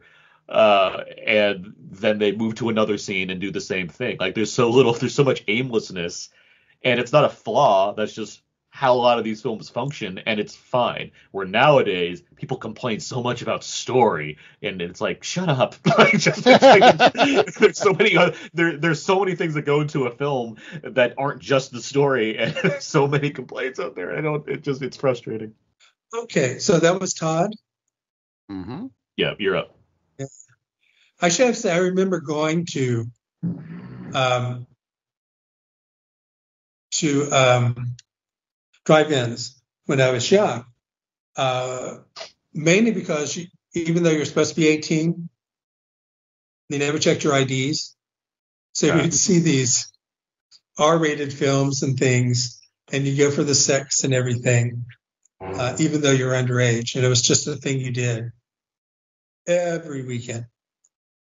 That's where I saw one of the worst films ever made, Myra Breckinridge. Uh, so, uh, so that actually brings back memories going to the drive-in. I actually did that. Uh, so I guess it's my turn, right? And I'm going spaghetti western. This is uh, The Good, the Bad, and the Ugly, uh, directed by Sergio Leone, with Clint Eastwood as the good, Lee Van Cleef as the bad, and Eli Wallach as the ugly. I wonder how Eli Wallach felt about that. Um, and it's it's basically inspired by The Pardoner's Tale and Treasure Sierra Madre. You have all these people uh, hunting for a treasure of gold. Um, it was, I guess, you know, it was such a huge hit in the U.S. that made Clint Eastwood a star. It also changed something with how, with ratings, and that it used to be, at least in the U.S., but I think everywhere, you couldn't see someone shoot a gun and the person get hit in the same scene. You had to cut away uh, after the shot and then cut away, and then you saw the guy get hit. And this is like the first movie where no, the guy shoots and you see him get hit. And Clint Eastwood said that kind of changed everything and how things were filmed.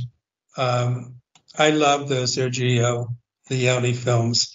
Um, and for those who like this one, I highly recommend South Korea's Ji Woon Kim's remake called The Good, the Bad, and the Weird. That Oh, rules. yeah. I love that movie. Love that I- movie. yes, um, it's wild. I understand they call it The Good, the Bad, and the Weird because they couldn't get the copyright or they couldn't get permission to, to call it that. But uh, that's my fourth choice. I'm sure a lot of you have seen this.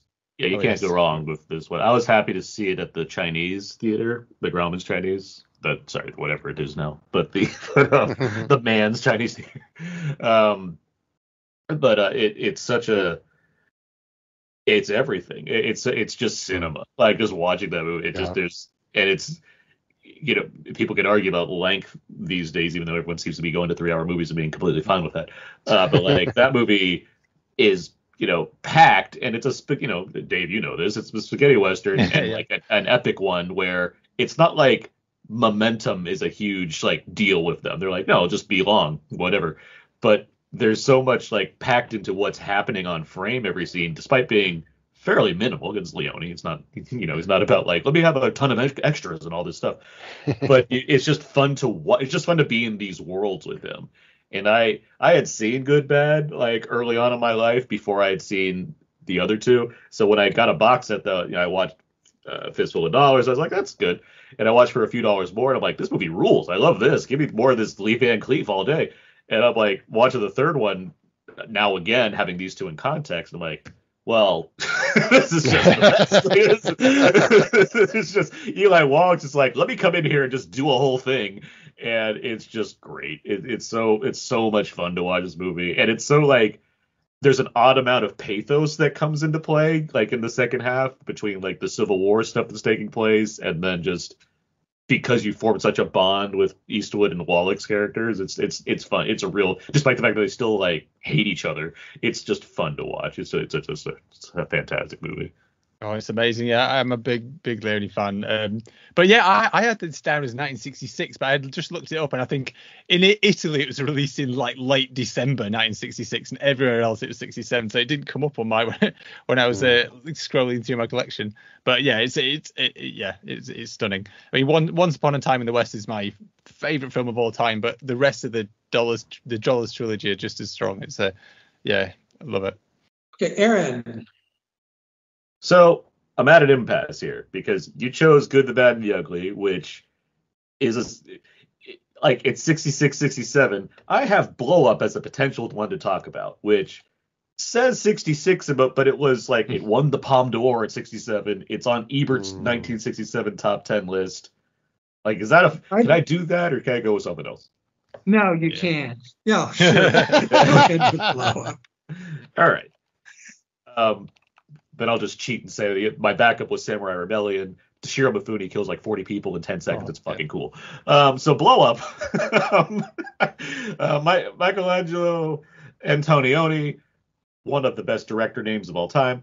Um, this movie I really, really love. Uh, I, I I'm so happy that I was able to see this before I've seen the other films that it influenced because I have no idea how I'd feel otherwise. I feel like I'd still recognize this movie as a you know a masterpiece, but like having seen this be- after before I saw Blow Out and uh, The Conversation, one of my absolute favorite movies, seeing this one, which other films at other films that like kind of define like uh, serve as like proto entries of genre you can see not necessarily weaknesses but you can see why other films expanding off of those things can be more highly regarded this one while it serves as this kind of like foundational piece so here's a early depiction of swinging london on film and paranoia and varying other like tropes and stuff you'd see in, in films like the ones i mentioned among others this is still just a great version of that kind of story where you have this guy uh, uh, played by David Hemmings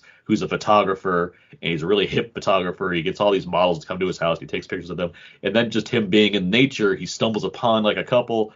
Takes a picture. Vanessa Redgrave, young Vanessa Redgrave, is among them. Uh, he takes a, he takes some pictures, and she's freaked out about it. He doesn't know why. Things occur, but again, it's one of these movies where there's just a lot of stuff happening, but not a lot of plot. But eventually, some kind of a plot sort of occurs where he sees in his picture as he blows it up that there's perhaps something seedy that's happened that's taken place. Um, and he's trying to get to the bottom of that, and then he gets just other things happen to kind of either verify his thoughts or mix them up even more. And then by the end, it goes into this like surreal direction that I absolutely love. Uh, this movie's wonderfully filmed. Again, it's another like outside of Italy and France, like seeing color in movies is there's there are choices being made, but the, like with Antonioni, it's like he knows what he's doing. Like it looks fantastic. He David Hemmings drive, drives around in this was like a Rolls Royce, and it looks wonderful. it's great. There's all these cool photography scenes of him like just being what you would now think is like a cliche of a photographer, but at that time it's like this is just what it is apparently, because uh, it's like the first time we're seeing it. Uh, that stuff is really just fun and interesting. There's like scenes of I love scenes in like 60s and 70s of people that just walk into bars or nightclubs and you get extended montages of just the band playing. And this is one of those movies like The Yardbirds is in this like early on in their career and just get to like observe people just hanging out in the club enjoying the music instead of being like and now let's talk about the plot while the band plays in the background. Instead just like no let's just hang out here. This is fun. Uh, the mod subculture is just really on display throughout here. It's fun to see. It's a very stylish film. There's a lot of experimental ideas going on. Um, there's a level of suspense that you might not see coming uh, that kind of puts it in the realm of know, like a like a like a Hitchcock, I guess, but like not because it's just like it's too plotless to have that kind of a thing. But it's still there's an inherent quality of like, oh, what's going to happen here? That going. So no, I I'm a big fan of Blow Up. I'm happy to have seen it multiple times at this point, and yeah, it's a it's a great movie. I have a weird relationship with Blow Up. I saw it in college. I didn't like it, and then I saw it like two other times. Still didn't like it. By the fourth time I saw it, I had what what a friend of mine called making peace with things that don't work in a movie. and there are two things that just don't work for me in this movie that I don't buy. And the first one is when Vanessa Redgrave comes to get the pictures, you know, the central character, what's her name, the photographer, acts like there's something odd about this and wonder what's going on. I'm going, there's nothing going on. She's you took a picture of her with someone who wasn't her husband. She's acting very, very logical. There is nothing illogical or strange about what is going on here. The second thing is when he sees something in the photo, and I'm going, nobody, you're not Superman. Nobody has that good an eyesight. There is absolutely no way you saw anything remotely suspicious. You're not a photographer, Howard. You don't know. you don't have the eye like he does. The photograph is just too small. He wouldn't be able to see something unless it was really blown up. So I've never bought that. But if you can put those two things aside, which I now have, it's it's an incredibly beautiful movie. It's very existential, so it's really on my alley because by the end, you know, it's like L'Avventura. There's no resolution. Mm-hmm. But that's what life is like. There's no resolution to these things in life. We don't know why they happen. We don't know uh, the ultimate cause. We don't know the ultimate meaning. So, you know, we start hearing the tennis ball instead of just seeing a pretend tennis game. We actually start hearing the tennis ball because that's what life is like. I, I love that ending. That's one of my favorite endings in, in movies. It's just the when the sound starts coming, it's like that's cool. That's a cool like. And when I'm seeing that, I'm seeing this early college years. I'm like, well, that's fun. Like that's that's a, that's a cool way to go. I, I haven't seen something like that before. I th- also, I thought you were going to say that you hate mimes, and that's the reason you don't like this movie. no, no, they were fine. Um, those kind of mimes for me, but you know, the the Marcel Marceau, I'm over Marcel Marceau, but uh, yeah, but this one has a truckload of mimes. So I mean, the more yes. the more the the more the mimier, as I say. um, anybody else seen the film? I haven't. It's a list of shame for me. It's one I've keep yeah, wanting to. I've, I've seen the conversation. I've seen blow blowout and stuff. I just I, I and I love both of them. So I, am keen to see it, and I just haven't got around to it. So yeah, it's a very I think important film. Uh, because of its introduction of ex- it and L'Avventura's introduction of existentialism into the American uh, culture, into the American movie culture. Because after this, yeah, you just uh, bad guys get away with things. Things happen that don't fully get explained, and it gets really, you know, we adopt we adapt a lot of that uh, existentialism. Boy, I'm getting really, really brainy about these films today. I, I, I Um, I'm happy that I've purposely chosen films that are set in London that Dave hasn't seen just to just to shame yeah. I think Well, to I be can honest, you- I think weirdly I always had something against British films when I was when I was first getting into cinema. I think British cinema annoyed me because so much of it was kitchen sink dramas Uh-huh. and period dramas, and I hated them both. I was like, oh, I don't want to see misery porn. I don't want to see a load of people dressed up in fancy costumes in expensive houses, um, sipping tea or whatever. It's, it's screw that. So I, I, did kind of rebelled against that and wanted to watch films from elsewhere. Um, but these days, I'm kind of going back. I'm starting to appreciate more of. I've, I've been delving into some of the kind of British new wave movies and things like that. And uh, but uh, but there's a lot of uh, there are a lot of gaps to plug. yeah, the life and death of Colonel Blimp, more like the life and death of me not watching this movie. Dave. yeah. Or, although Powell Pressburger, Powell and Pressburger though that is the uh, I, I do I've always I do like them. Although I must admit I haven't got around to Blimp yet because it's so long. but um but yeah, matter of life and death. Uh, if oh. more like Oh, if I chose not to watch this, I'll do something else.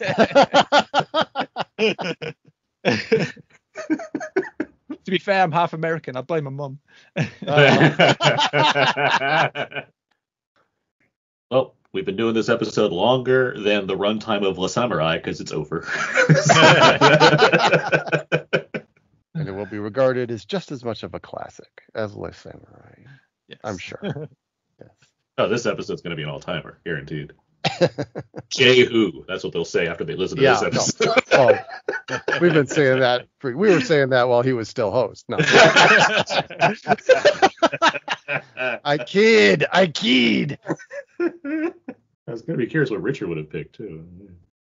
Oh well, I can tell. I, I it's funny as I was looking through, I was like, "Oh, Richard will pick that. Richard will pick that." You know, like there's a Bond film that year, even though it's You Only Live Twice. I'm like, Richard would have it on his list because. That's a good. That's a good Bond movie. Yeah, I, Yeah, like I it. mean, you know, it's got a great. even Dave likes it. He hates he hates England at this time. oh no, I love Bond. I love Bond. cool, cool Hand Luke would be on Richard's list. I can guarantee that. I think Point Blank would be on Richard's list, which I can't argue with that one either. Yeah, if I wanted to do, I'm not saying generic. If I wanted to do like a list of the popular things, like easy, easily these would be oh, on my list. Like these are great movies. I love these. Yeah. Like literally, the second we got 67, I'm like it's gonna take so much for me not to be talking about Cool Hand Luke or In the Heat of the Night. I'm just like, Mhm. like, Yeah. let me see what else I can do here. In the Heat of the Night, the long-running television series, you mean? yeah, yeah, you know, Yeah. I watched all 200 episodes uh, in preparation. Yeah.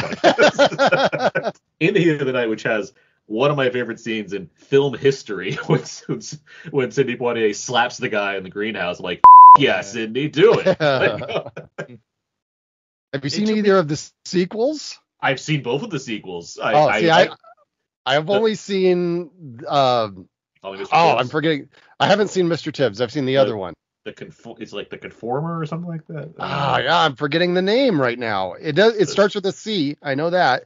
Well, the conformist is literally a movie, so that's not it. What's the what's No, the? it's not that. I only saw in the, the night of the first time, I think last year, and I was really late to it, but it's oh, it is it is a fantastic film.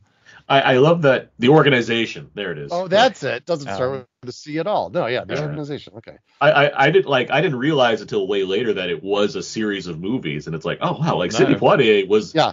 Not just a movie star, but he had a franchise to himself. Yeah. And that's so for a, like a black actor in the '60s, '70s has like a, outside of Richard Roundtree, it's like he had a franchise to Yeah. go for. Mhm. That's great. And it's the last kind of film you'd expect a franchise from. It doesn't it Exactly, feels yeah. complete. It's just yeah, it's those Okay. stories so one off, and then it's like, no, we can keep Tibbs going. I think we're at David. Yeah. Yes. Okay, so I'm for my going- doing much better now. okay, so my okay for my final pick, as I said, I veered away. I, I had planned. I'd I had five spaghetti westerns picked out. There was another Django one in there that I was going to watch, and then I was sent something to review, uh, and I loved it. And I was like, no, I've got to talk about this because it's one of these films where nobody's heard of it, and I loved it so much I kind of want to spread the word. So I had to throw this in there. Uh, that's a film called Happy End, or no, I, actually no, I'm not going to try and pronounce it, the Czechoslovakian title. But yeah, this is a Czech, Czechoslovakian film by Oldřich Lipsky. Um, and in Czechoslovakia around 67, you've got um, a lot of the Czech New Wave films out coming out, some really big, uh, fantastic uh, Czech films. Uh, but this isn't really classed as the, the Czech New Wave because Lipsky had been making films since the 50s, so he's he's ca- technically kind of the old guard. Um, but this is every bit as kind of well, it's it's more out there than a lot of the Czech New Wave films.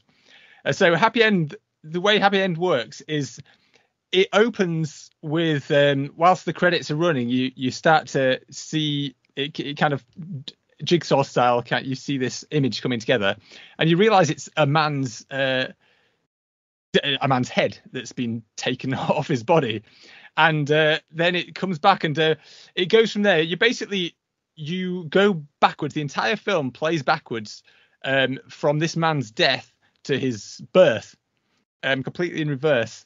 And uh, you realise that this man, he's a butcher. He's played by Vladimir Mensik, and he murders his wife uh, and his and her lover because he caught them. He caught them um, having an affair, so he he murders them, and that's why he's executed. And uh, the film plays all of that situation backwards, but in playing it backwards, it turns this kind of uh, uh, this murderer in, it, this story of murder into something uh, bizarrely kind of wholesome, and uh, it's it just mines every little bit of humor it possibly can out of this bizarre kind of reversal of of the situation. Um, and it is an absolute absolute joy. A lot of the jokes come from uh, a lot of the jokes come from the there's a voiceover um, running throughout, kind of explaining what's going on, but it's explaining things as though the reverse is the norm. So uh, he talks about at the beginning when he's he's taken from his execution, which he calls his birth. He's taken to prison, and to him, prison is school, and he's like telling about how he learnt all these things, and uh, and uh, like he's he's he's stitching together um, uh, potato sacks is his job in prison. He's like he learned how to um, un kind of uh, tear open all these potato sacks, and um, he's usually you, kind of give you, you what you whatever items you've got on you, you give away when you go to prison. But he he's like coming out of prison, and they give him loads of stuff. But then one of the things that they give him, he's given a suitcase, and he says he's given a wife to assemble. So he takes his dismembered wife in a suitcase and reassembles her, and he's like, "Wow, they've given me a, a wife after I left school," and um, it kind of goes on from there, and it's just it's utterly bizarre and uh, another aspect of the humor comes from things playing out in reverse. Um, and it's all done very, very cleverly. It's not the it's it's not the first film to kind of play with play with reverse chronology like this, but it's and and it wasn't the last. Uh, but it just does it so well. Um, there are some obvious bits where uh, just just the quirky quirky things like seeing someone eat backwards, which is kind of gross but kind of funny at the same time. and um, uh, it just really it, it's it's yeah it just had me laughing out loud uh, more than I've had in a film for a long, long time. Um, it, it, got criticised when it first came out, thinking it, it was a bit of a one-trick pony, and uh, especially because at the time there was all the Czech New Wave com- films coming out that were um, getting garnering all the attention, uh, and this was seen more of a, a, bit of a throwaway kind of uh, one-joke film. And in a, in a sense, I agree. It is it is a one trick pony in terms of it is just purely mining everything it can from this premise, but it does it so well, and it's furiously paced. Um, it's um, which could be too much. It could prove to be too much um, because it's so fast paced and because it's it's kind of uh, doing one thing in in a variety of ways. But it's very short. It's 73 minutes. You don't have time to get bored. It just fires and fires and fires. Um, and it's just utter sheer joy um, that I would, yeah, highly recommend anyone check it out. Really, um, brilliantly made, hilariously funny, and very clever. And doing the kind of back backwards thing long time before Memento and and Christopher Nolan's kind of uh, movies. It's uh, yeah. I, I, have heard of this movie. Um, Excellent. And uh, and I've been I've seen a few Czech New Wave films. I'm always like, I want to see more of these because this just seems like mm. so interesting to me it, you said you had you got this to review. Like, is it on a new Blu-ray or is it on like a set or something? Or? Yeah, it's just been released in the UK by Second Run um, on Blu-ray. Uh, yes, it's uh, definitely worth picking up. Uh, it's got I have an all region player because I'm all about like just getting stuff that I can that's like cool and obscure. Yeah, yeah, yeah, go for it. I think it's out now. Yeah, yeah, it came out at the end of March, so yeah, it's it's, it's definitely out now. And now when you say sounds when you say reverse chronology, is it when you say reverse chronology? Is it like literally like people walking backwards, or like me- memento as far as you Oh, see yeah. segments? No, no. Oh, yeah. Sorry, I didn't explain it clearly enough. But yeah, it it, it is. The movements are properly. Re- all the movements are reversed. Everything is, Okay. is reversed. But the difference is, and this is another thing, another part of the comedy that I didn't mention, I, uh, is um, is the but the dialogue isn't. The dialogue is. The dialogue is, but uh, the words make sense. But what it does is it breaks it into sentences and plays the sentence. Play, sorry, plays the lines backwards. Uh, and there's loads of humor kind of brought from this. So um, the conversations run in reverse. So for instance, uh, I'd written one out somewhere. I'm just looking at my review now. Something Reminding like the the David Lynch Red Room, but it's funny this time. That's that's what's going on here. yeah, yeah.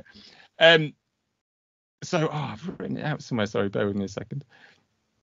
Oh yeah, so so when he's at trial, uh, this butcher, uh, he's asked um, who put the corpse in your suitcase, and he just replies the judge because he's obviously in reality he's answering something that was said before, but um, in this reverse chronology, it just and it plays with that all the time. The script is must have been painstakingly put together because almost every line is some kind of gag because because of the way it plays out and the the way it goes in reverse.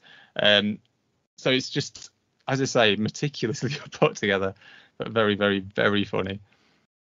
Um, it sounds like a film I really would like to see.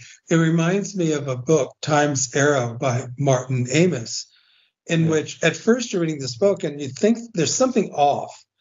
And you finally figure out, oh, this is going in reverse chronological order, but you know, not like scenes. I mean, it is going backwards in time.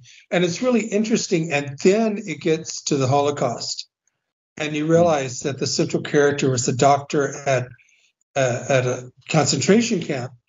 But now, instead of killing Jews, they're putting ashes in ovens and giving birth to Jews.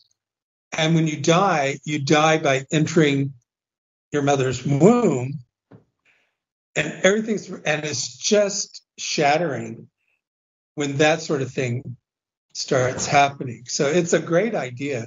There have been other things that have been in reverse order, but not quite like that. Like Merrily We Roll Along from the 1920s is told in reverse Yeah. uh, order, but it's and uh, Betrayal is told in reverse order, but each scene goes forward and is uh, done chronologically forward. That sounds great. I, I can't wait to see. Hopefully, it'll come up on Criterion sometime. Yeah, hopefully it's been picked up because it's been like kind of restored, and uh, that's why this Blu-ray's come out. So I'm sure it'll be Yeah, doing so the I'm rounds stateside. Yeah, it's a all region wo- free. It's a region free Blu-ray as well, the one that's come out in the UK. Ooh. So like I'll rush into getting it, then like Criterion or Arrow will like a month Yeah, later be you like, guess what we got, guys? And I'm like, ah, fine. Okay, Todd, this is it. This is it. This is the biggie. Well, Take so away. Uh, of course we covered a lot of uh, genres that were frequent in the drive-ins, uh, but we haven't done a horror film yet. So we're gonna end with so we're gonna end with uh, Jack Hill's disturbing uh, but also playful horror film Spider Baby, um, Ah. which is a creepy tale of a family of young adults who suffer from a condition where they basically all have the minds of children and that is played out in deadly ways. Um, they are all living in their mansion under the care of their loyal chauffeur, played by Lon Chaney Jr. Um, the children, the quote unquote children in this, are played by Sid Haig, Jill Banner, and Beverly Washburn, and they all turn in wonderfully creepy performances, especially Jill Banner, who delivers one of those kind of disturbing but sexy type performances. Uh, Sid Haig also a real standout here. Um, but I can't skip over Lon Chaney Jr., uh, who, you know, he was just he, he was one of those actors that you know he was in a lot of the, these horror movies and had a way of bringing characters that were monsters but were sympathetic that you couldn't help but feel for this guy. And he brings great heart to this film. You really feel for him even though he is involved in some pretty awful things. Um it, it's a film that has great visual style beautiful uh, black and white photography, and it's such that it's you know it's one of those films that makes really ugly things beautiful the way that it it uh, photographs it. Um, it. it. gets pretty dark and unsettling, but it's also got an undeniable sense of humor to it. Um, just uh, a, a film that I it really surprised me when I watched it because this is one of those films that you can find everywhere. You know, you can find it in bad copies on YouTube and things like that. And you know, people I, I've seen videos where people like ranked this as one of the worst movies ever made. And I, after I watched that video, I said the people that put this together obviously did not watch this film because this is this is a wonderful, uh, you know, just kind of weird, creepy film that also has a weird humorous streak to it also quite influential. I mean, you watch this and you can see echoes of it in you know things like Texas Chainsaw Massacre or things like that Rob Zombie did. Uh, you know, it just you know the the creepy family doing weird type of stuff. Um, I, I just really was was charmed by this strange little horror film. Who says Mantan Moreland in it? How was he? Yes, he is. did he do one of his routines or was he just uh, acting? No, he's he he's just acting it. He's uh, he plays, if I remember correctly, a a messenger who uh, unfortunately doesn't make it very long in the film. As messengers often don't. Yeah. But he's very funny, and especially in the he's much better than Stepin Fetchit was for the Charlie Chan films. So I guess that leaves me, doesn't it? It does. And I have to go to my thing here. Um, this should be no surprise since we sort of talked since I uh, pineapple er, kiosk it early, whatever the verb form of pineapple kiosk is, and it is Playtime, which is one of the great French films. It's from French filmmaker Jacques Tati. It's one of the great farces of all times. Uh, it stars Tati as Monsieur Hulot, who uh, Tati plays in a large number of his films. Uh, there's not a lot of plot. Uh, Hulot arrives in Paris and he cures, I think he's trying to find a friend or find an address, but he curiously wanders around this new high tech Paris uh, along with a, a, group of American tourists. And there's also this nightclub restaurant that prepares its it's getting ready for opening night, but it's still under construction, and it all converges in this just riotous ending. Um, as I said, it's a bit difficult to explain because there really isn't much of a plot. It's just there's all these visuals and these little set pieces, and the way that Hulot looks at Paris. It just Paris just doesn't look like I mean, it just has a very every everything is very funny. The way he looks at it, the sounds, everything is just very funny. So um, I think it's one of the great farces. I think it's one of the great French films. Certainly, Tati is probably his greatest film. I saw a restored version of it. I can't remember how long ago, and it was just incredibly gorgeous uh, to look at. Yeah, as I was uh, saying early on, I've been wanting to see this film for such a long time, and I, I try to see films like this the way I, the best way I can, whether it's like Lawrence of Arabia or something, where it's like I want to watch this in the 70 millimeter format that he purposely made this film in, which possibly led to its demise at the box office. um, but I, you know, just seeing it on the fancy Blu-ray it has uh, from Criterion on my large TV, it did the job because this film is wonderfully enormous. Like the the idea of building this just massive set to contain so much, uh, like basically like vignettes, um, and play with art style and varying forms of comedy. I, I just I, I really like I knew this would be completely my speed and I was very happy that it delivered on that. I love that it's like it feels like a silent film that's not as far as much like you know with Tati's kind of humor, like the dialogue's not important at all, and it's there's so much you know there's music and there's physical comedy playing out, so it's not like you need words to really tell the story that's going on here. So it has this sort of I don't even know what the term would be like post silent film, silent film thing going for it, where it just has like a different kind of approach. In silent film time, these were called sound films, but uh, uh, because it was film that had sound to it. But you're right. I mean, the dialogue is pretty much unintelligible, and there's not much of it, and it's not supposed to be intelligible. I mean, it's you're right. It's it's beside the point. Yeah, You know. and it and the use of color is really interesting too, where it's shot in a way So- where it's so it's drab, not drab, but it's like it's a lot of non-primaries on purpose, so you can have highlights and scenes where there are primary colors and things being used like that. So it it, it has a a very deliberate look to it that I appreciated as well. For example, uh, one of the earliest scenes, it's a very small scene. Hulot arrives somewhere, I can't remember it's at the airport or if it's at a business, and two nuns just walk down, and you kind of hear their their headgear a little flapping and they're bouncing, and it's just funny. It's not plot. It's not take the story anywhere. It's just so funny. So, and the whole movie is sort of like that. He just finds humor in all sorts of things. For sure. Um, I think that's it.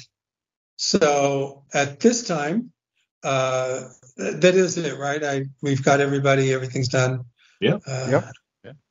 So at this time, we shall take a short break and listen to a promo for a sister podcast.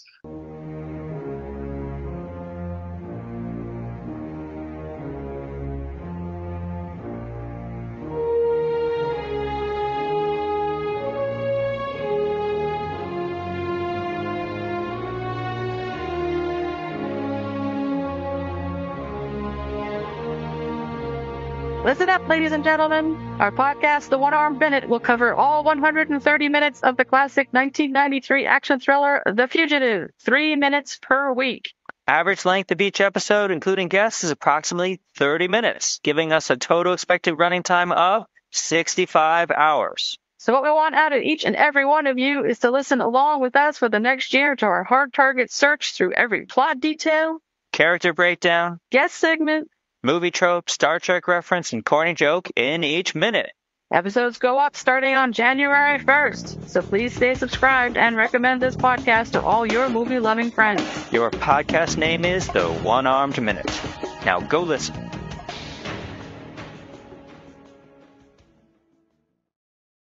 Well, welcome back, and uh, we are going to start closing out. The exit question today was: um, Which movie from 1967 would you like to? Would you think should or could be or would like to see remade? And bonus points for director and actors.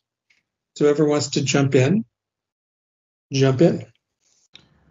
Well, um, obviously Michael Bay's Young Girls of Rochefort would be uh, fantastic. I, I uh, with uh, Shia LaBeouf in his bag on the head era. the. Um, I have a pick um, that I, I Okay. that is just as good. Um, as people may know, I'm a very big Godzilla fan. Son of Godzilla came out in 1967, um, and because it's one of the what I would say the lesser Godzilla films, even in the Showa era, um, I would say naturally that means that's the one you remake. And Godzilla's so prolific right now um, between his his recent Oscar win, his new blockbuster, and his TV series, a real rena- Renaissance lizard as they call him. Um, I think Son of Godzilla will be the next logical step. And who better to do that than a director that handles daddy issues all the time? That's right, Steven Spielberg, who's always wanted to make a Godzilla movie. Uh, put him on board. And who do you get to play these characters? Well, he's been working with Mark Rylance a lot. He literally played the BFG, so that just makes sense. Be Godzilla, Mark Rylance. There you go. He's Oh, a dad yeah. now. Mark Rylance. He's you know he's a great actor. And I mean, just keep it like British, I guess. So like get Barry Keoghan in there. He could be the son of Godzilla. It's two of them. and yeah. The the set the set pics alone of them in like blue stockings with dots all over them would be phenomenal. That'd be the, the best. um, making it you know a story about like Godzilla's like a bad dad. He's like, oh dad, you went and trashed the city again, and his son's just angry at him. He's like, but you got to learn how to be angry too, son. And he teaches him how to stomp over cities and fight you know, a lobster or like a giant spider or Caramungus or whatever. It'd be great. I feel like this, the MonsterVerse. I'm writing letters. We're we're seeing what Legendary's going to do with this. Oh. Get the beard on board. I'm, I think this will work. you know, you had a you had a not I guess exactly a son of Kong, but a baby Kong in Godzilla times Kong. It's so the you know, natural next step. Like I'm telling you, Exactly. like, I, I, It I know is. doing. I think this I was kind of I was kind of disappointed that there wasn't a baby Godzilla in that, that new film. I was They're, like, sa- they're good. saving it for naturally this brilliant idea that I'm proposing for them. Like it's gonna happen. there's going to be a labor scene in the Coliseum. It'll be great. Yeah. yes. That's how it'll start with the labor scene. Yeah. Really get you on, on Godzilla's side. Like, oh, his mom died. Like, Yeah. it's- That's great. Anybody else? well, um, I, I I struggled with this, and I just decided to go with the first thing that kind of made me chuckle when it went through my mind. Hear me out here, folks. I know it's it'd be controversial to replace uh, the King, Elvis Presley, but hear me out. Ryan Gosling in Clambake. Boom. Print. I oh mean, yeah, He could Yeah. totally It'll be. better already. Just the casting alone makes Hey, it a better movie. I think Elvis movies are goofy fun. Uh, and, uh, you know, I mean, Gosling could totally be the heir of an oil empire who goes to Florida to become a water ski instructor. I mean, you know, come on. Clambake is keep the same theme song. It's a great theme song, you know. Oh, oh, just think of a giant poster that says Gosling in clam. bake. Clambake. Oh my god. The marquees would And just can- literally get set on fire. And he can sing and dance because Yeah, he grew up. Absolutely.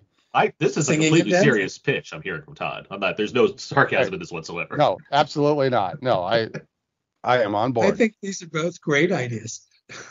Th- thank you, Howard. Uh, uh, did you have one, David? Uh, I did. I've not put as much thought into mine, but because I was I was out today and just saw the message before the podcast.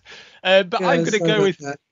I- I've spent a whole podcast without talking about any like martial arts movies, so so I'm gonna throw in. There's a, a classic uh, wuxia from 1967 is the One-Armed Swordsman, and back after, straight after that was released, um, Jimmy Wang Yu himself, who was the star of that film, made he made two sequels. He made dozens of rip-off semi-sequels. He made loads of one-armed swordsman themed type films within the space of a few years. But then they dried up. Tsui Hark made The Blade, which is a which is kind of a remake. But but there's not been one for a while. So I figure let's bring the one-armed swordsman idea back. And if we're thinking of modern kind of action director star duos, it's got to be Chad Stahelski, or how I pronounce it, and Keanu Reeves um, uh, doing doing the new one-armed swordsman. I, I think you can't go wrong with that. Not into it. Does he talk Yeah. much? If he doesn't talk much, then Keanu Reeves would be perfect. Well, you can change it up. You can keep his mouth shut in this one. He's not exactly super verbose in the past several action movies he's done, but uh, But, no, no. no, that sounds great. Yeah, I could see that actually. I could see uh, Keanu Reeves as a just kill his dog and, and take his arm away, and he'll Come after you. Come get revenge. But yes, Well, to learn the choice- skills of one-armed weaponry. and and his dog is only uh, as as only three legs. So, you know. yeah, well, that that maybe his own arm isn't lost; it's dog's leg. yeah, I like it. Uh, my choice is going to be Jean-Luc Godard's Weekend. mhm. Uh, we're going to put it in Los Angeles. It's going to star Tom Hardy and Charlize Theron, and it's going to be Back it. directed by. Yeah, it's going to be directed by David Lynch. Oh boy. Okay. okay. On I mean, board. we could go with George Miller, but I, I think I'd rather go, especially in the second half. Maybe George Miller could do the first half and David Lynch could do the second half. Oh, Nice. yeah. Laura, Laura Dern's gonna have a field day as a cameo in this one. yes. Okay. Um, well, now we are closing out, so we need to find out what is happening in your guys' uh, life and what you are promoting. So, Aaron, Okay, I uh, host a podcast called Out Now with Aaron and Abe. We talk about the weekly movie releases, and we do a lot of fun bonus stuff as well. Uh, that includes commentary tracks every month, and we have our upcoming summer movie Gamble, where we'll be predicting the top 10 highest grossing films of the summer, which is a lot of fun and very competitive. Um, I am the editor in chief over at We Live Entertainment, where I write my movie reviews. I also write reviews for Why So Blu for Blu ray and Criterion reviews, and I'm on all the socials at Aaron's PS4. Fantastic. Uh, David.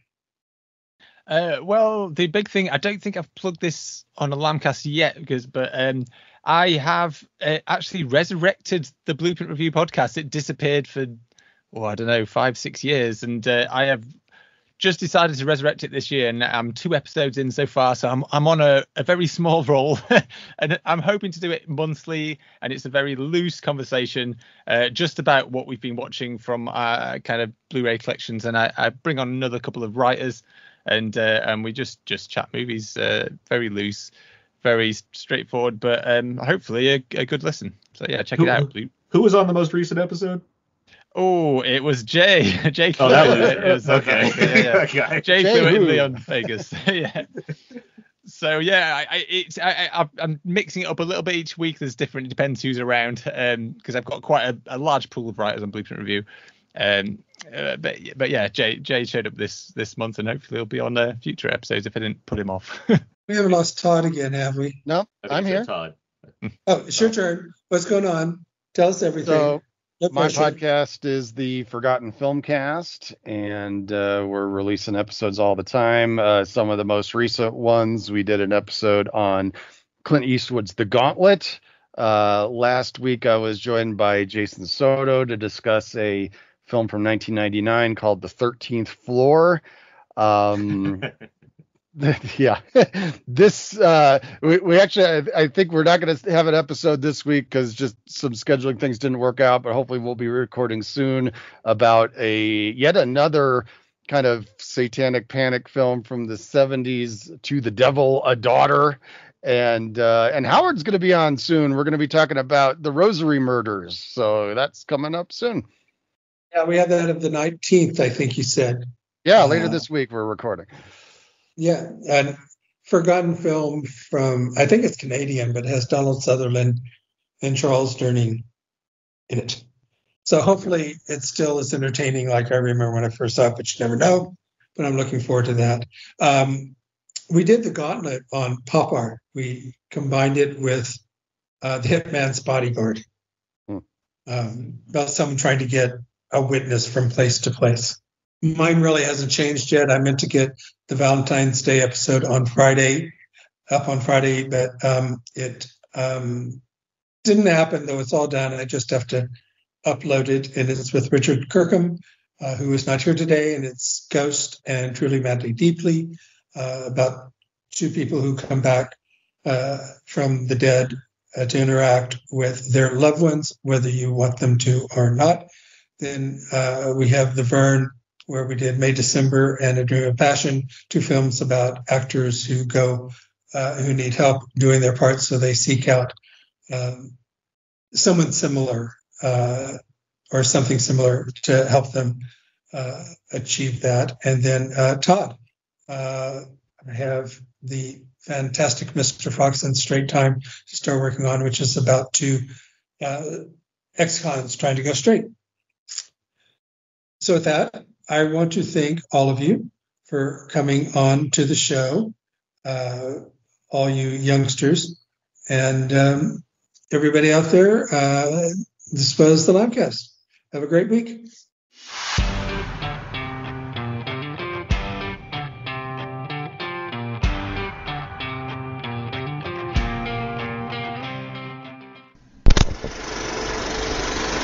You've been listening to the Lambcast. If you have an idea for a show or would like to join us on the Lambcast, contact us at largeassmovieblogs.com. Find us on Facebook, just search for Lambcast, or on X, formerly Twitter, at Lambcast. And you can find us on YouTube as well. The Lamb site can be found at largeassmovieblogs.com. We'd also love it if you would leave a review on iTunes.